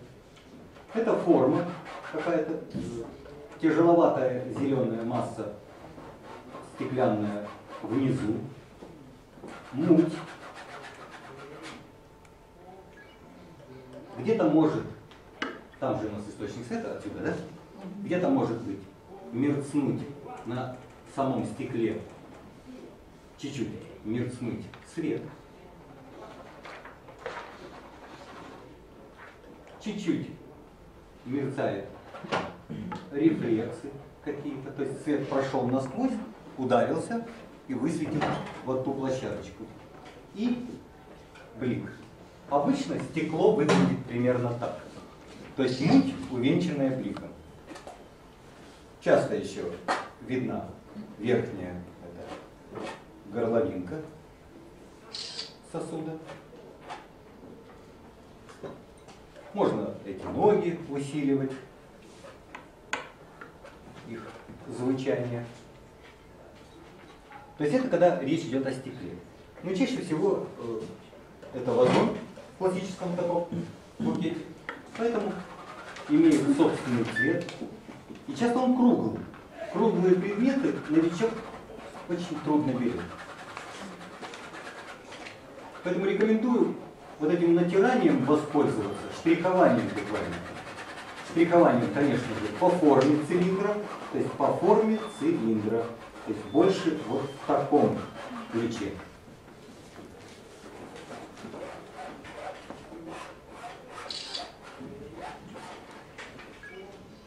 Смотрите, у нас какой инструмент есть. Палец, который легко краску, если надо, подвигает. И у нас высветлена, допустим, вот эта часть. То есть не кистью пытаться добиться, мы сразу лишнюю краску кистью положим, которая будет с трудом давать, с трудом будет давать красивую растяжку. А нам нужна красивая растяжка круглого предмета. Как правило, здесь обычно все-таки круг, кругловатые предметы. Вот таким растиранием мы довольно сподручно добиваемся круглости. Действительно, это очень большое, большая проблема для новичка добиться кистью круглого предмета. Мастихин своими вот этими затирочками довольно удобно это делает. Ну и в центре увенчано это бликом. Это может быть блик, имеющий форму, может быть очень звонкий блик или не очень звонкий, но это бличок. Как правило, здесь, как у круглых предметов, как у, у шарообразных предметов, самый сильный, самая сильная теневая часть, вернее, самая сильная темность у шарообразных предметов это вот здесь, на линии перегиба света и тени. Ночь особенно темна перед рассветом, и здесь, соответственно, у нас вот перед рассветом самое темное тенистое место. А здесь, как правило, рефлекс от светлой плоскости, от светлой плоскости сюда. Как правило, этот рефлекс имеет цвет той плоскости, на которой находится. То есть он чуть светлее. Он не равен свету. Он только отражение света от светлой плоскости. Поэтому он есть, но слабенький. У этого предмета обязательно, поскольку свет упал, есть тень. Как правило, не параллельно, а туда. То есть мы же отсюда освещение имеем. И, и теневая упала чуть туда, вдаль. Туда. Чуть вдаль. В бок и вдаль. Если, значит, блик у нас никогда не здесь, только при контражурном освещении с той стороны, а при нормальном таком классическом освещении блик никогда не, не загоняйте в угол. Не загоняйте вот сюда в угол. Пусть он будет где-то отступив от, от угла. То есть мы рисуем идею шара. Чтобы вы, выразить шар, блик должен жить где-то в этом месте. Соответственно, тень должна пойти туда. туда вот туда. Чуть-чуть вглубь. Как правило, есть вот эта плоскость.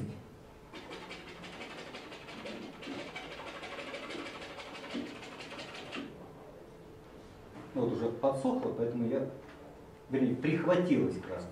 Поэтому я добавлю вещества.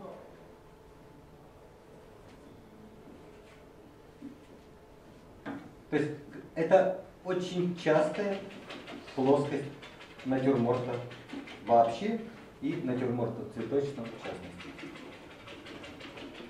Итак, у нас обозначены плоскость уходящая. Причем вы видите, я ее нарочито штриховал по высоте, прямо нарочито, чтобы показать, что она ушла туда.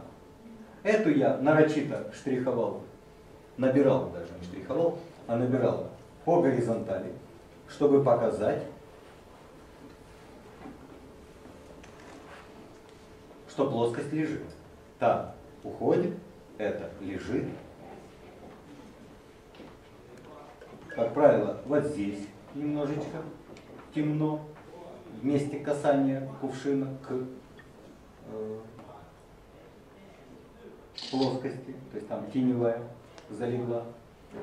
И теневая ушла и растворилась туда.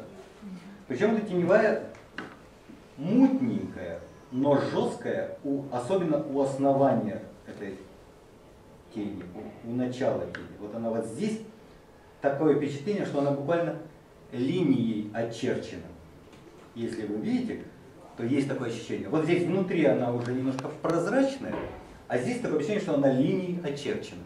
Это хорошие трюки, говорящие о знании художникам э, основ. Это все не хитрые вещи, просто их надо учитывать, помнить о них. Еще раз смотрите, аж почти что линейка. А дальше оно все чуть-чуть подрастворилось и может быть даже совсем, совсем ушло на нет. Часто даже художники вот здесь не делают внятную линию, то есть оно срастворилось. Рефлекс, э, подверженная рефлексом круглость ухода вот этого. Извините, но здесь Плюс, плюс вот эта теневая. Они там немножко даже срослись. То есть весь акцент на вот эту линию тени. И, конечно же, на вот это закругление. А это как бы потерялось, растворилось. Свет немножко виден из-под теневой части кувшина. Прямо легенький намек на свет. Иногда, и даже очень часто, все художники обожают из-под теневой доставать свет. Поэтому вот даже может быть чуть-чуть усилим. Из-под теневой свет дает ощущение пространства. То есть сразу яс, ясны уход этого пространства. Это же пространство должно прозвучать и с теневой стороны. То есть здесь у нас будет свет, а здесь из-под теневой выйдет бы намек на свет. То есть мы отсветлим теневую. Трюк, который тоже дает усиление пространства. Но прежде чем мы это усветим, мы сначала здесь хоть немножко кинем света, чтобы это было естественно звучало. Вот. Допустим, мы вот набрали некий намек на зелень, некий намек на плоскости, некий намек на кувшин. Теперь у нас какие-то там цветочки. Как правило, где-то в центре что, что-нибудь важное. Не, не, не здесь размещать какие-то мелкие цветочки, которые прилично было бы там дальних, да? ну, периферии букета, а вот здесь освещенный, какой-то с красивой, красиво смоделированный, ну, удачный цветок. Вот здесь вот среди цветов чуть удачнее, чуть меньше, а, а здесь вот красавец какой-нибудь. Конечно, ему вот надо быть в районе этого пересечения, может быть, с легким смещением сюда, поскольку сюда смещен свет. Здесь что-то главное. Может быть, по соседству еще кто-то. Почти главный. То есть мы, набирая такие просто обозначения себе, уже видим место будущих цветков. То есть мы не рисунок обкрашиваем, как бедненькие, а мы все разумно раздаем, раздаем, обозначаем. Тут может быть какой-то цветок, который уже никнет. Здесь какие-то у нас цветочечки могут быть. Мелкие, конечно, обозначать нет смысла, в основном все-таки крупные. Мелкие уже так, по, по, по надписи. Когда мы, допустим, это сделали, у нас какие-то есть цветовые. Ну, к примеру, в этих букетах есть крупные пионы, ну, в основном пионы, а здесь, кроме пионов, розы и какие-то малютки по, по периферии. Теперь, когда мы вытерли красочку, мы очень легко можем наполнить чистым, практически чистым цветом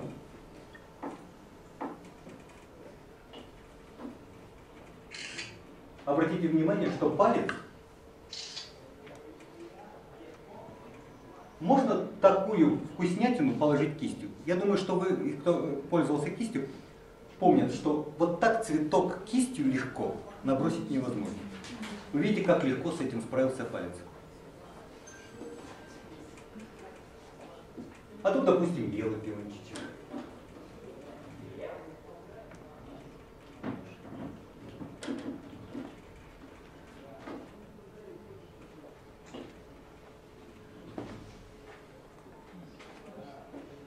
Может быть, вот я вижу на картиночке и желтый пиончик какой-то там.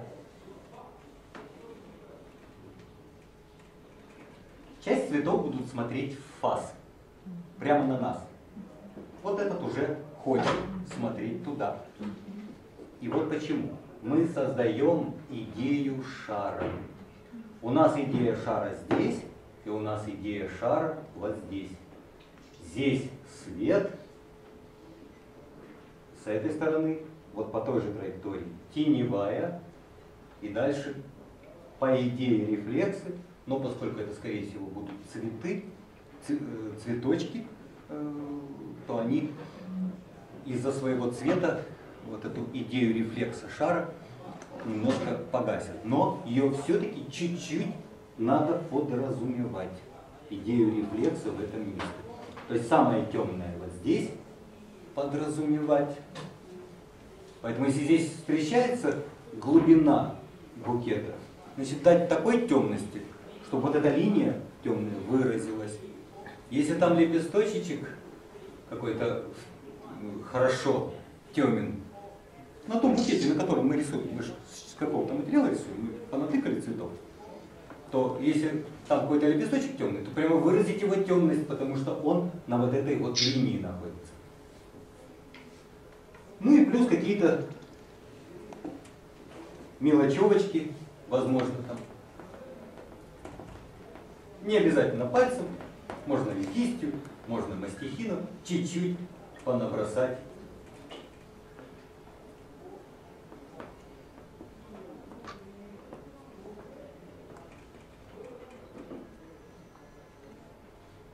Там у нас с той стороны теневые места.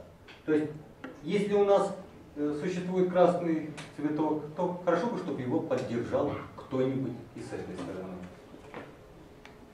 Эту красноту поддержать и с этой стороны. Допустим, там смотрит туда куда-то. Может быть, даже наклонился, наклонился. Может, наклонился в ту сторону, в ту. Может быть, этот наклонился в ту сторону. И может быть тоже розовенький. То есть мы формируем идею композиции пятен. Причем он не будет равен по, по светлости вот этому пятну центральному. Он немножко на периферии. Где-то он в него вмазался фоновой цвет. И это делает его как бы немножко уходящим туда. А здесь вся, вся яркость будет. Тот и вовсе в тени. Этот не в тени, но как бы на периферии света, да? То есть он такой вяленький. А здесь, здесь самая светлая, освещенная часть шара. Здесь же и светленькости зеленого. И тоже, прежде чем вы возьметесь за кисть, которая обязательно начнет набрасывать лишнюю краску, вы прежде чем позволите кисти наруш- нарушить вам что-то, можете пальцем понабирать. Какие-то листья могут за- заслонять вот тот цветок, допустим, именно для того, чтобы показать, что он туда смотрит. Также и где-то здесь. Уходим от таких симметрий. То есть вот сейчас нечаянно произошла симметрия. Уходим от нее.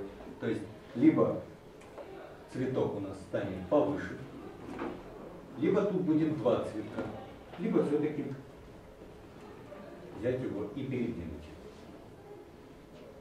То есть этот повыше, этот пониже. То есть симметрии избегаем максимально.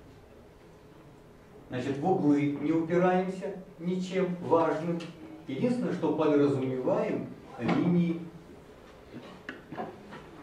диагонали. Для того, чтобы вот этими линиями загнать, загнать к внимание зрителя к центру. Эти же линии здесь, где-то и здесь. Поэтому и на приблизительно на этих линиях тоже что-то может быть обозначено. Нарочито обозначено вдоль этих линий, чтобы показать, чтобы опять тут композиционный трюк совершить, вгонять зрителя в пересечение. Что-то крупное может быть здесь, что-то мелкое. То есть, опять же, аси- асимметрия. Белые цветочки в тени. Это у нас уже власть тени. И либо скользящий свет, скользящий уже свет, скользящий свет. Поэтому, например, белый цветок здесь уже не вполне белый.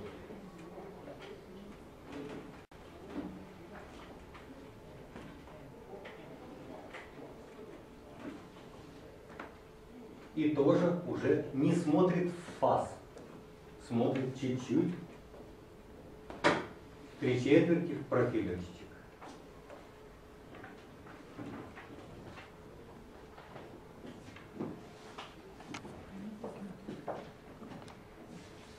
После того, как мы общую канву наметили, мы можем, кстати, можно кистью вполне.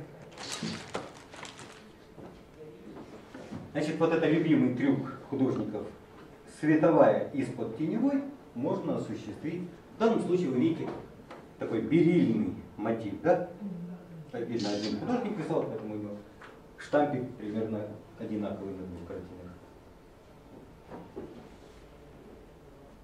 То есть взял голубизну, немножко разбелил, немножко добавил розовизны, чтобы он не был скучно голубой, и из-под теневой штриховал чуть-чуть.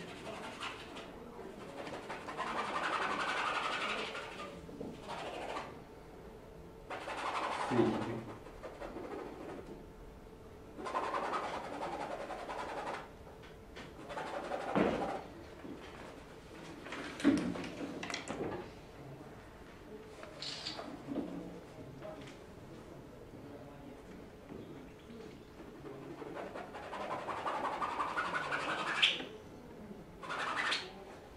Появился эффект пространства? Я думаю, что есть вот это вот ощущение, да? Э, То есть источник света падал сюда, но там некая плоскость, может быть это драпировка, может еще что-то. То есть свет зашел сюда, ударился сюда, но за, за букетом вот есть тень, которая пошла сюда, а есть та часть, вот с той стороны он же тоже шел этот свет, ну, ударился сюда и высветлил. То есть логика вещей здесь есть. И, и даже фотограф это делает. Просто многие фотографы не знают этого трюка, и это видно сразу.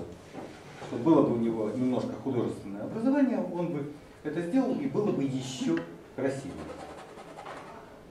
В наше время этот трюк используется художниками не всегда. То есть импровизация на эту тему происходит очень часто.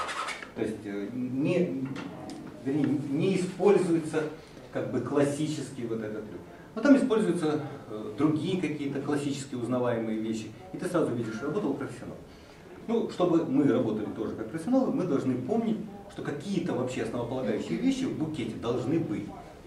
Шарообразность букета, освещенность, грамотная шара, свет из-под теневой, обозначение, внятное обозначение плоскостей, внятное обозначение плоскостей. Не каша, а плоскость, плоскость. Плоскость или не плоскость, а пространство занято.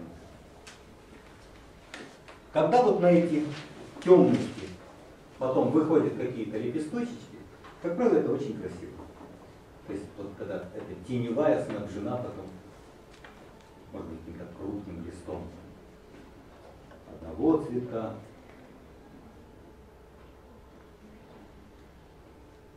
Может быть, у него даже там ножка. Вы видите, краска очень подвижна. То есть ее можно моделировать и пальцем, и рукой. И особенно важно сейчас не перебрать краски, чтобы мочь еще это все разрабатывать. Потому что как только мы переберем краски, дорисовывание, выявление формы становится большой проблемой. Палец растирки мастихин не дают перенавалить краски. Опять же, вот эту темноту можно подсечь вот.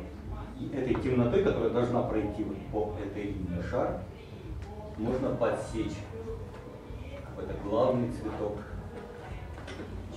там эту глубину дать. Ну, не значит, что мы уже откры- э, совсем шар рисуем, поэтому где-то здесь мигают и, э, и светленькие, освещенненькие. Но более освещенные листья, самые освещенные листья, конечно, должны быть где-то вот здесь встретиться, вот здесь. И вот у нас все больше выражается форма шара.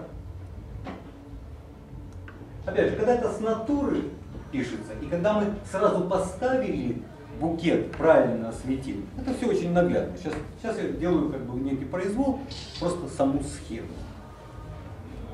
Ну вот, допустим, мы понабирали, понабирали. Теперь же уже, уже в принципе можно вырисовывать.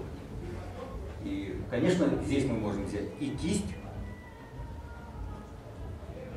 но лучше, вот я когда портрет мы делали, тоже настаивал на том, чтобы до самого последнего момента пользоваться пальцем. Потому что пальца достаточно, чтобы делать лепестки практически любых цветов. Кроме самых маленьких, которые и то вы видели, были брошены пальцем. Но палец дает возможность контролировать количество краски на холсте. Контролировать. Мало того, он еще и прекрасно моделирует. Кисть обязательно смешалась, э, дала бы смешение этой краски с этой, если бы мы ее погнали туда, эту краску. Либо положить надо было бы очень густой мазок, внятный густой мазок кисти, который уже практически должен там и остаться. И ничего другого там, потому что густота, которую мы уже не сможем э, моделировать. А здесь мы еще ничего толком не положив, уже разрабатываем форму.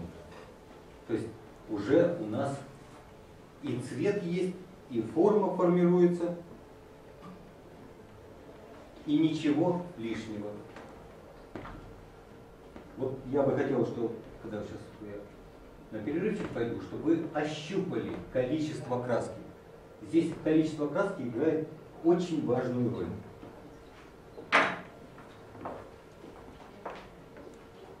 И, соответственно, здесь освещенные места.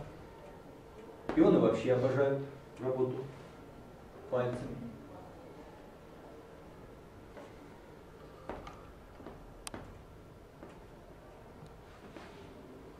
То есть у нас палец прям под размер пионовых этих лепестков. Это у вас.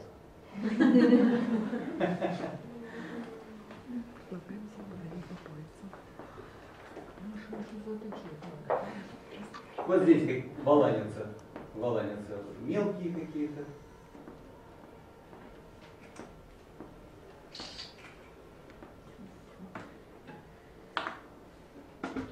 Вот на светлых партиях, если мы уже видим, что складывается все хорошо, можем чуть-чуть фактурки подсунуть. А в теневых стараемся еле-еле. Если у нас не складывается, то биться здесь бессмысленно. Снимается красочка и приступается заново. Вплоть до того, что, допустим, у нас там грязновато в цвете. Еще подтерли. Возможно, фоновые пятна слишком поучаствовали в цвете. Опять подтерли и опять начали. А это зачем? А? А это почему? Это показать Нет, если бы там было бы невкусно смоделированное, это не значит, что надо натаптывать и, на- и на- натаптывать туда краски. Сбрили, стерли, И приступили еще раз, потому что именно вот на первом этапе укладки самое вкусное может произойти. Когда там краски много, когда там уже опыт неудач возник, начинаются проблемы. Мы уже с трудом улучшаем. А на первом вот этим вот первом балконе, на первых пируэтах, ну, самое вкусненькое и организуется.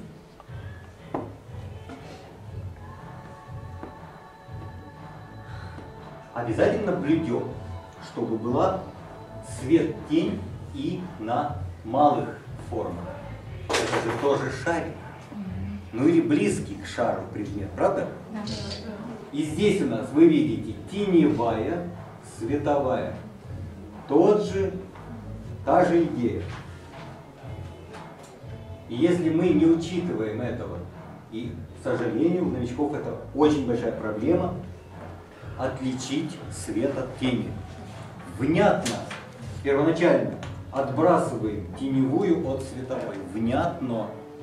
И работаем уже после внятного разграничения внутри световой как световой и внутри теневой как теневой, подразумевая, что это не равно этому все время. Потому что когда мы увидели здесь, ой, там светится, светится э, лепесточечек, и мы сразу в полную силу. Он там может светиться, может. Так же, как свет прошел насквозь, и, и там светло. Он может. Но вообще-то не там ему место вот такому светлому. Там место тихому, светлому, тихому. А мощному светлому место вот здесь.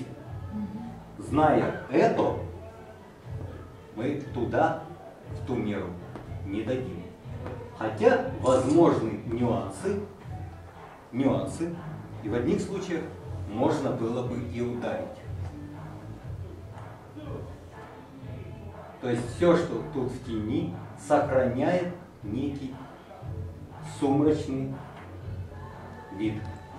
Видите, да? То есть здесь свет, а здесь тень. Тень, а вот этот кругляшок света. То же самое и с темненькими цветочками. Ну, кстати, вот здесь у фар... два фартушка у, у пиона, можно прямо отсюда, вот если кому будет интересно сейчас, опять же, сбрили, вытерли, и прям попробуйте смоделировать вот этот цветок. Но все подойдите и ощупайте, я сейчас прям сюда подброшу, ощупайте количество краски. Количество краски. Количество. Подойдите прям пальцем сколько этой краски здесь, сколько краски в фонароднике. Пощупайте растирочки. Ну, я знаю, что некоторые из вас уже были на уроках, поэтому щупали подобные вещи. Но, тем не менее, э, может быть, кто-то не обратил внимания. Кто захочет, по -по погуляйте по, по периферии. То есть буквально порисуйте, пощупайте это все. Вот. Я покурю, потом еще немножко что-нибудь. Ой, небрежно. Да, мы стихи Совершенно не прилагая никаких усилий. Первый класс. Да. Да, да, да, я понял. Намек понял. Просто открытым текстом. Не выходит и все. Будем лечить. Если оно поддается, конечно, лечить. То может больной. Не только опыт. Ну, не только опыт. Здесь достаточно небольшого опыта, но правильный подход. Я как раз об этом сейчас собрался высказаться, поэтому... Ну, я кроме этого хотел еще э, высказать э, другую вещь. Вот мы как раз там, чай пили и зашел разговор о том, что, зачем люди приходят э, к этой живописи, э, что, что им от нее надо. То есть мы все устаем быть только потребителями. Рано или поздно становится уже тошно. Только потреблять становится тошно. А не потреблять, не, быть просто элементарным потребителем, э, как-то не хватает собственного собственной фантазии выйти из этого.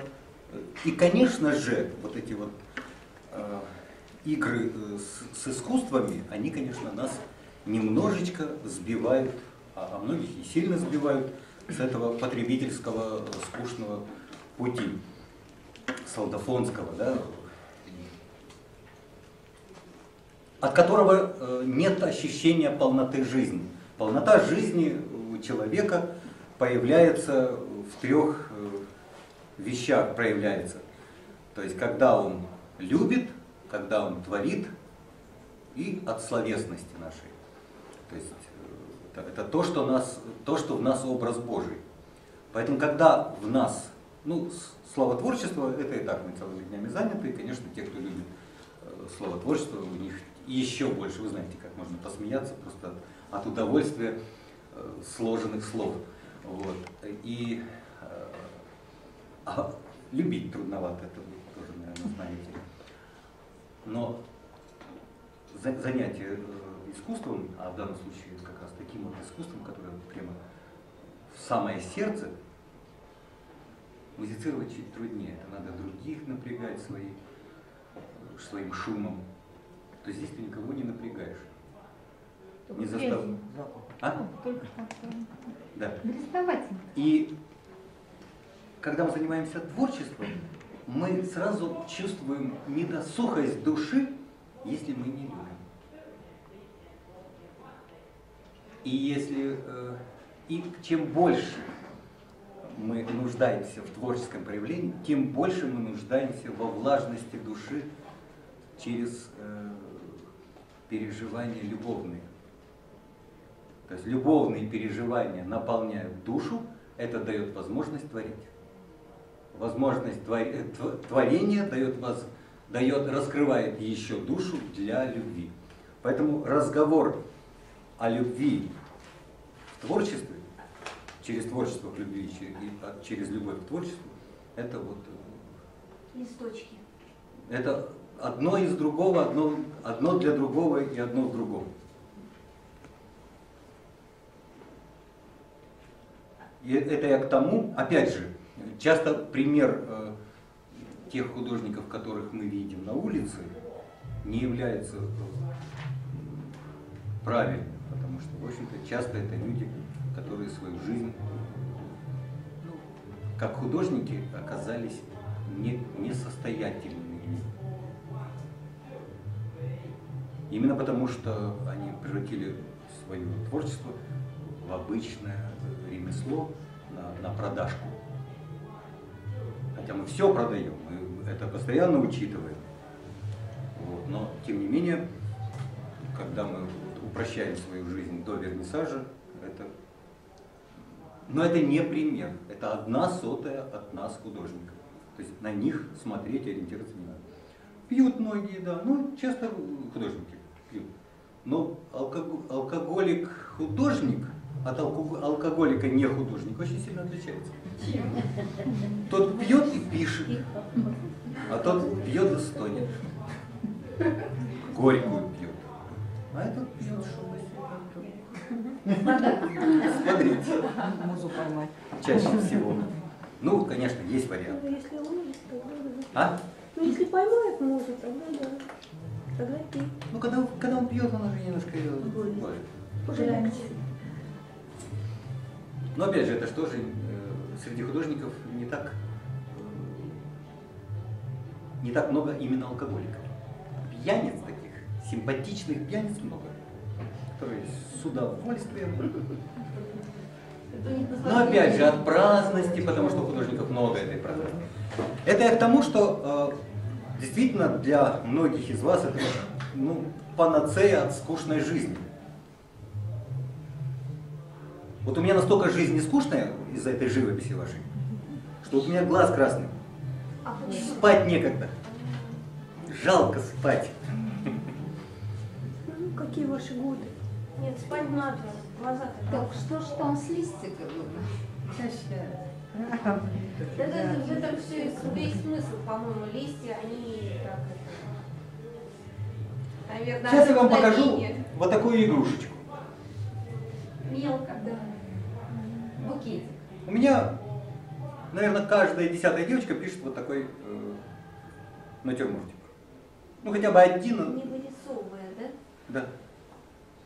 Вот на такой фигнюшке можно обучиться легкости. Не начинать с этого. Здесь мы говорим об основах. Конечно, подошла, попробовала, не получается. Конечно, не получается. Потому что, ну, не, не по сеньке. Сноровка. Но это же сеньке. А это сеньке. Сейчас мы посмотрим, как сделать то, что сеньке. Потому что раз, разбередив руку, расшевелив, растанцевав ее, мы потом со всякими там листиками уж как-нибудь разберемся. Классическая живопись, она действительно требует фундаментальных знаний и, фундамента... и, и какого-то толстого опыта.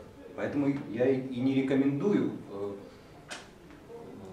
соревноваться с теми, у кого за плечами по 12 лет Ну, мы не об этом говорим. что мастихином вы делаете листик одним вот движением. Раз и листик. Тут Да. размачивать Ну опять, можно когда больше, идет урок, когда идет урок, конечно, мы сначала пробуем сами, потом я прохожу, допустим, говорю, не так ты, вот покажи, как ты делала, ну, допустим, показываю, вот так, допустим.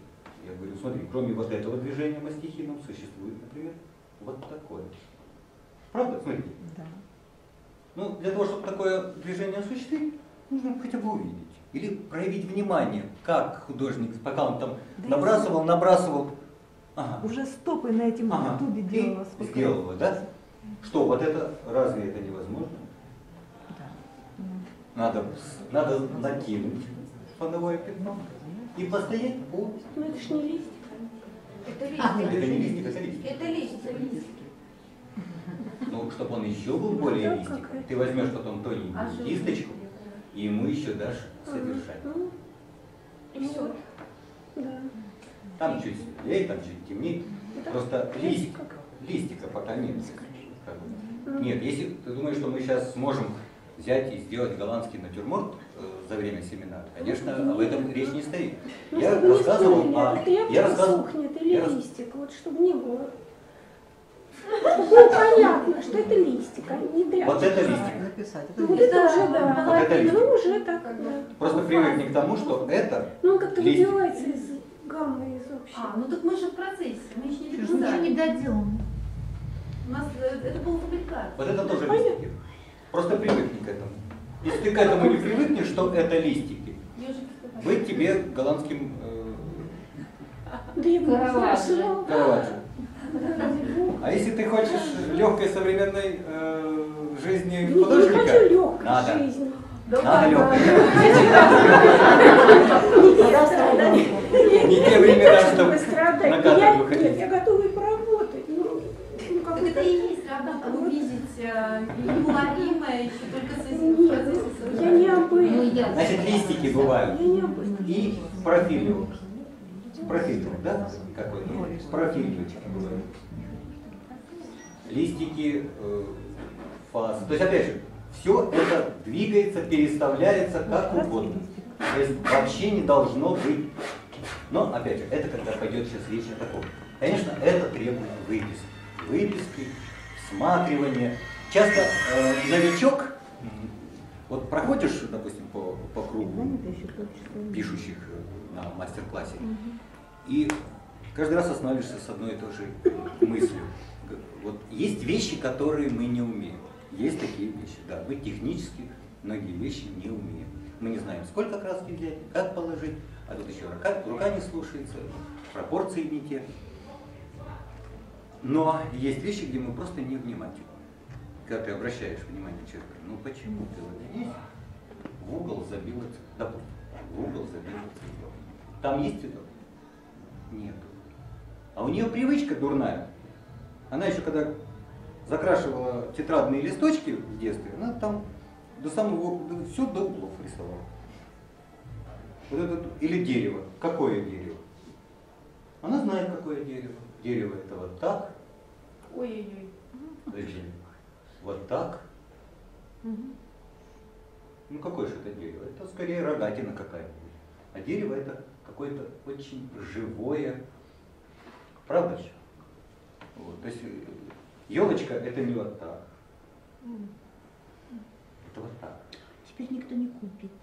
Заметьте, во время перерыва шедевр. Все аккуратно Но не вот трогали, пока пошли, если это хорошо. Зря не, зря не пощупали вот это. Трогали, но ничего не испортили. Ага. Вот. Мы, э, поскольку Не путь дальше э, скорбен, и это действительно э, сложные вещи, я не призываю просто, я даже призываю на первое время вообще от таких вещей отказаться. У вас со временем, а, так я хотел сказать, что есть вещи, которые мы не умеем, но есть вещи, которые просто мы проявили невнимание. По мере каждой следующей картины, где вы себе будете ставить задачу посильную, у вас появятся такие ва- важные вещи, как внимание. Оно очень быстро может появиться. У взрослого человека, который внятно хочет рисовать, оно быстро может появиться. Ребенку трудно, там у него шило в попе, ну трудно его внимание взять, пока он сам этого не захочет. Как правило, уже к 20 годам он уже сам этого хочет, он идет в институт сознательный и так далее, и так далее. Но первые 8 лет часто э, обучение живописи у него проходит без этого внимания. Просто нечаянно усваивает что-то, походя. Играя в футбол, где-то немножко и этих знаний. Вот. А у вас все для этого есть. Вы захотели, вы сознательно настроились, вот, и, и- можете это внимание приобрести очень быстро. И вот Максим в данном случае э, тому прекрасный пример, который за год, за год обучения достиг уровня добротного художника. Перфект. Вот. Что, какой он себе ставил э, вопрос, когда он начинал? Говорит, слушай, вот ты мне сейчас это показал, но я же это видел. Ну почему я это так сделал? То есть он для себя свое внимание очень быстро стал э, перестраивать свою способность к вниманию. Почему я проявил невнимание? Это я уже сейчас вот формулирую это как слово внимание, а он тогда, ну это же вещи, вещи очевидные. Живопись – это сплошные очевидные вещи. Сказать, что я не умею, это значит сказать, что я не вижу. Есть немножко технических приемов, есть усвоенность рукой технических приемов. Но сказать, что я не умею, в принципе, это слишком, слишком самонадеянно, потому что Бог в нас заложил элементарно зрение, разум, интеллект, это, да, и прочие вещи. Поэтому сказать, что я не умею, ну это нечестно. Я просто не привык расследовать, э, всматриваться в предметы. И я говорю, что начните с задач посильных, языков живописи пруд пруди, посильных для вас, поэтому берете посильные вещи, но по мере э, работы в этой области вы обязательно будете приобретать академического характера э, опыт и знания. Там даже элементарно вот эти листочки, которые вы э, писали, то есть есть, вот они прозрачные. Я подхожу, мазюкаю пальцем, то есть я не знаю, где остановить, где надавить, а где спустить. То есть это техника. Да, да, да, Здесь да, уже- да, да, да. Вот, они же, ну, И просто- очень хорошо это под- э, брать прямо из рук в руки у мастера. Да, потому что вот всякие пособия, которые там существуют, ну, очень тя- тяжелая вещь. Еще очень тяжелая вещь это студии, где у вас э, перед вами ставят задачи, как перед детьми. Нарисовать драпировочку, написать, на- написать, нарисовать куб, кувшинчик, яблочко. Там, как правило, схема образования и медведя научить рисовать. И как бы вообще не учитывает ни э, наличие времени у человека, а взрослому человеку там некогда, просто тупо некогда заниматься. И он разочаровывается, что он даже элементарное не может. На наших уроках у нас задача показать, что э, мы можем сделать картину, то есть у нас есть, конечно, пробелы, они сразу выявятся, но мы можем сделать картину. Мы учим ход для изготовления картины, посильный для нас. А уже эти все опыт, на- навыки и прочее, прочее по мере, по мере, по мере. Но я вам скажу, что вот те, которые прошли по 50 уроков, ну это просто чудеса вытворяют. Очень многие отваливаются через 50 уроков, потому что просто больше не нужно. Ну так иногда придут. А некоторые не могут, потому что им нужен движ, тусовка. И тусовка у нас тоже есть, так что за тусовкой там Вот. Я хочу э, теперь, поскольку я исчерпал перечень тех э, академических задач, которые, а дальше пошли уже технические, листик не получается, но надо пробовать, пробовать, пробовать. И я хотел показать, как, например, э, вытворяется вот такое. И на, и на таком можно очень хорошо тренироваться, и такое э, у вас будут с удовольствием брать друзья, э, и на продажку можно такое делать, и для себя. Очень веселая живопись. У меня бывает так урок, девочка закончила картину, а время осталось. Она говорит, так, домой иди, ну, домой не хочу. А там еще время, допустим, часик остался. Она говорит, да я сделаю вот такое. Потому что она уже видела, как другие делали. Берет, калякает за, за полчаса эту чепухню. И еще у нее картина. Так, вот мы это такое сделаем прямо здесь. Привыкнуть надо к тому, что это рабочая плоскость. Прям привыкнуть. Да-да-да, вандализм.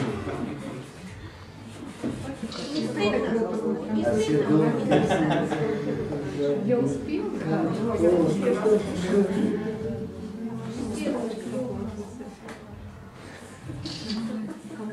То есть надо будет полагать. Вот, допустим, мы часто... Ой, ну как это свою картину так вот закрасить? А что красиво сейчас Было- получилось? между прочим, на каком-то этапе могло бы быть так.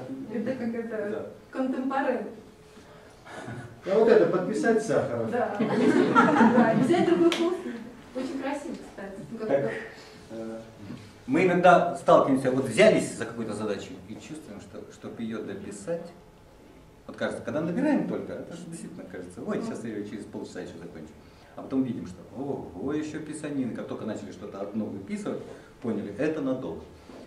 Но это же не повод, потому что уж прямо ее и писать, и писать. Если, допустим, ты понял, ошибочка вышла, то, конечно, можно взять тут же и перестроить. Другое дело, если вы уже работа засохла, и ее вот так просто не перестроишь. Лучше, опять же, в рулон. А если идет рабочий процесс, то бояться э, перестраивать тут же на ходу картину не надо ни в коем случае. То есть тут, тут же взяли и перестроили. Этот опыт перестройки, они уже никто не знает, как художник приходит к тем или иным вещам. Просто не знает. Потому что надо заглянуть. Художники, как правило, показывают уже удачные вещи. Особенно если речь идет о видео, то вы же, конечно, не видите его каторги, видите только вот, удачи. А вам как раз предстоит то, что он не показывает. Ну, если там 2 сантиметра живописи, значит, мучился он долго. Вот. А пока не увидишь этот рабочий процесс, что могут быть ошибки, могут быть тупики, вот, страшно, мне кажется, что я что-то не так делаю. Все так вот, нормально, перестраиваем и глазом не моргнем. Тоже ведь красиво, правда? Да, очень. Вот кто скажет, вот даже в момент перестройки, И фигуру вот там уходит куда. например, вместо вот этого теперь появится фигурка. Лес какой-то. Ну, что?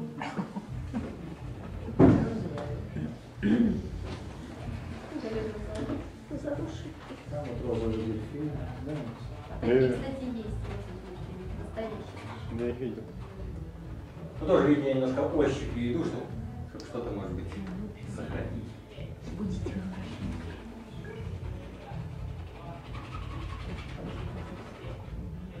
Тоже, обратите внимание, плоскость обозначена.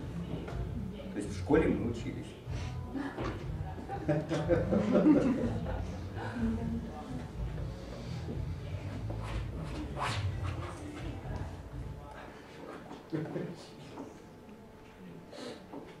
Вот сначала такой букет нарисовать. Ну, такую картину.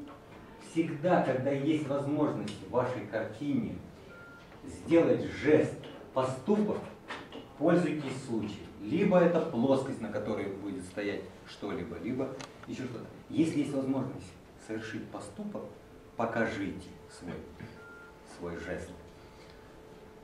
Во-первых, коллеги по цеху построиться. Во-вторых, люди сейчас именно эти вещи вот им нравятся. Это вот та самая недосказанность, та самая легкость, вальяжность. Позитивность. И вот когда нам с вами нужно потренироваться делать листики, можно просто закрасить, уныло закрасить фоновым пятном э, холст и педантичненько там что-то пытаться рисовать эти ровненько, ровненько. А можно тут же изготавливать вещи.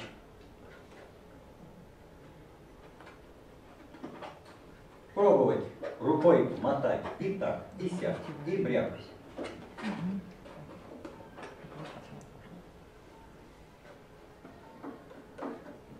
Но танцеваться должен. Это как когда тебя никто не видит, ты можешь петь, ты можешь танцевать. Ну так это тебя никто здесь не видит. В такой каше никто не видит. Поэтому валяй дурака вдоволь. И такие листочки, и всякие. Наверное, самая большая проблема это разрешить себе. А мы же не знаем, а можно это себе разрешать? Мы не должны научиться разрешать себе все. Вот мы же не знаем, хорошо, вот сказали, пиши, как дышится. Как? Как? Вот так. Швырни краски и начни ее. Диагональ. Про диагональ при этом? А? Он уже не думает. Диагональ. А диагонали я немножко автоматически думаю. Да. И вы видите, что к диагонали кто-то да устремился. Просто это не значит, что это э, при обязательстве. Что-то может быть и не при обязательстве. Достаточно, чтобы узнавались вообще школьные вещи, школьные э, проявления. Что да-да-да, видно, что человек кое-что о живописи знает. То есть не ярмарочная живопись, когда просто перечисленный предмет, ну как дети рисуют. Лист бумаги, здесь солнышко его научили рисовать.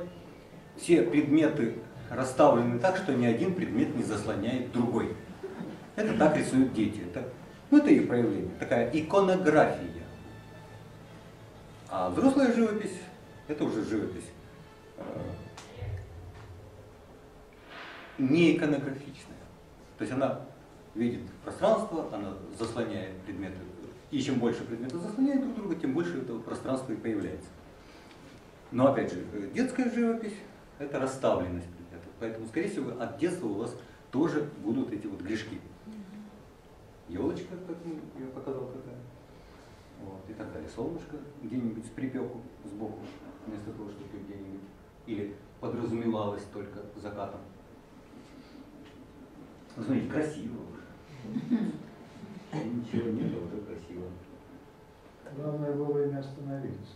Вот это самое сложное, кстати. Вот это вот тренировочки вот такого характера. Кстати, даже сейчас вот такие потеки очень модны. Прямо модны. Иногда мы даже уже написав картинку, подбросим, оно потекло. Потому что модно. Какие-то цветочки. Даже просто раздавая, раздавая вот эти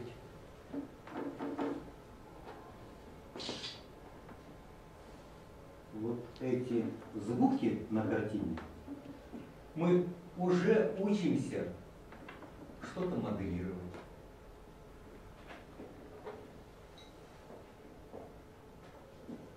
Легко общаться с мастихином. Может быть и пальцем где-то там подыгрывать.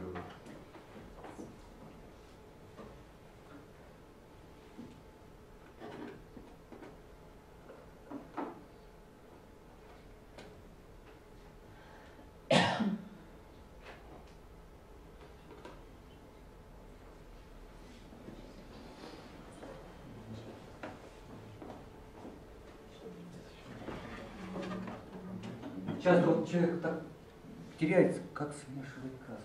Вот прямо, вот палитра. Не там, вот здесь прямо.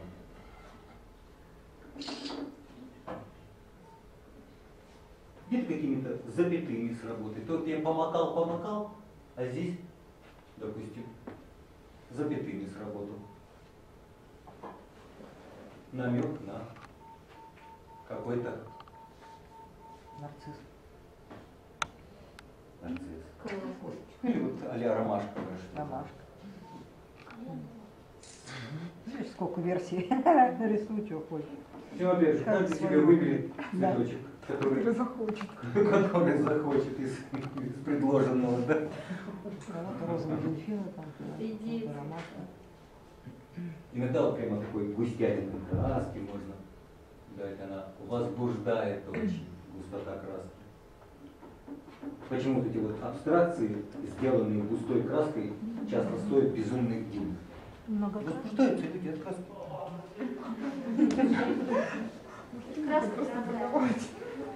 От шика пользования краской тоже возбуждаются.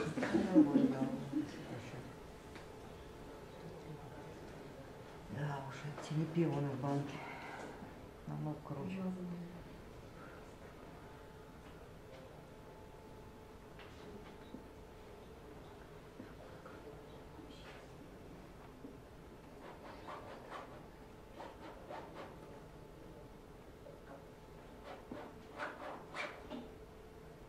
Вот даже так. Вот не рисовать вот прямо этот силуэт. Да, какой же там силуэт? Ну да так. Может быть, силуэт не рисовать, а блик поставить.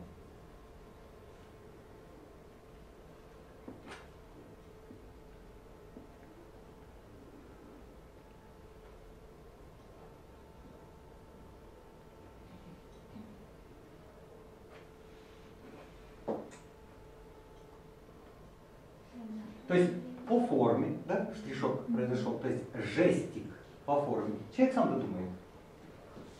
Конечно, додумает.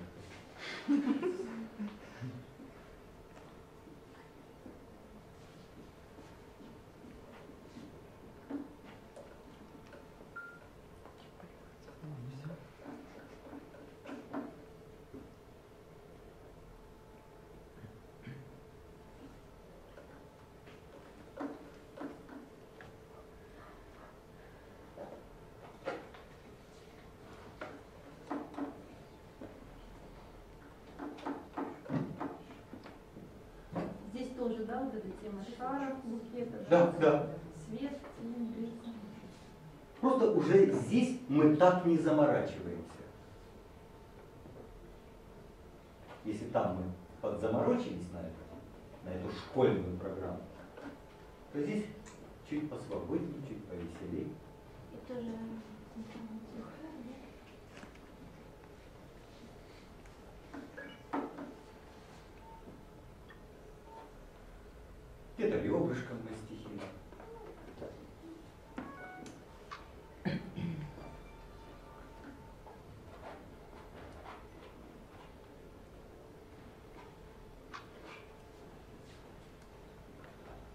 Вы видите, центр только да, освещен, то есть периферия поспокойнее. То есть все, все до центра. Ну, не знаю, вот, Всё. собственно, и все. Можно еще на стол кинуть цветочки.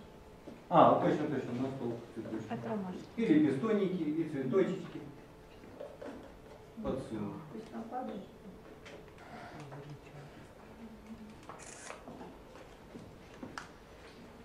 Здесь не надо свет за вазой. Ну, не обязательно. В таких случаях уже не обязательно. Хотя можно. Мы ее в другое место переставили. Крестик снизу, снизу такой, да. Ну.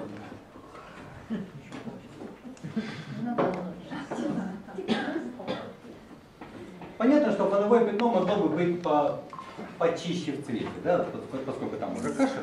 Ну и такая глубина цвета тоже вполне устраивает. То есть это грязца такая а-ля под старинный метро. Вот. Вот в этом случае я как раз хотел бы, чтобы вы действительно подошли, а- особенно вы, и все-таки пощупали потом. Я при всех, у меня уже точно не получится. Пошли вместе. Нет, нет, зачем? Вам страшно не было.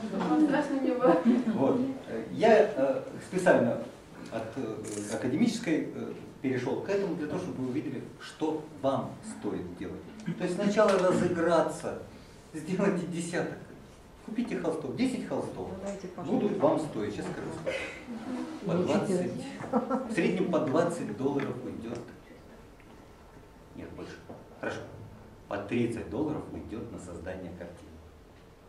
Вот выделите 30, 300 долларов, сделайте 10 таких игрушечек, всю жизнь и вы уже почувствуете, что вы художник. Смешно. Может быть, какие-то картинки подберите. Ага, мотивом будет вот этот натюрморт. Вот этот букет. Вы нашли в интернете какие-нибудь фото или, или с чужих картин там э, посмотрели. Взяли себе материала, разложили перед собой 10 холстов. Два дня дурачитесь. Уверяю вас, после этого импульса 300 долларов можно потратить на башмаки.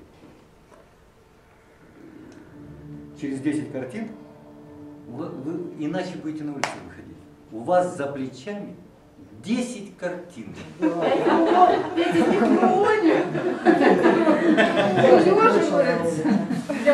Да, да, да. Это два дня видео, за два дня удаление себе. 20 минут. Да, сравнили. Вы должны поступить по этой схеме. Мало того, когда вы будете это писать, не пишите так, как будто вы умеете, к- с этим параличем не подходите. А подходите с тем, что вот вы видели, вот как будто вы рассказываете там своей сестре, дочке, кому угодно. Я была на мастер-классе, знаете, что, что он советует? Вот смотри, что он советует. Сама под- расскажи. Девочки, которые э, говорят, а как мне побыстрее вырасти? Я говорю, давай уроки. Разница между тобой, прошедшей 30 уроков, и человеком, который придет, уже невероятная, космическая. Он из небытия в бытие, а ты из бытия В еще большее бытие. Космос. да. Поэтому э, подойдите к холсту так, как будто вы кому-то рассказываете. Как будто вы рассказываете то, что вы прослушали. Тогда вам будет легче намного. Не цепенеть. Следующий семинар. Что будет? Вместо цветов. да? Нет, вместо цветов. Вот просто вот следующий семинар не цветы, а что? А мы их на ходу придумываем. А можно фрукты? Нет, а вот абстракция, она имеет какие-то... Ну, у нас среди тем есть женщина, вот гипотетически, женщина и живопись. Вот я как бы немножко все время эту тему оговариваю, а поскольку, да, а поскольку у нас вся аудитория женская, то вот Мужчина в живопись. Нет, философские ваши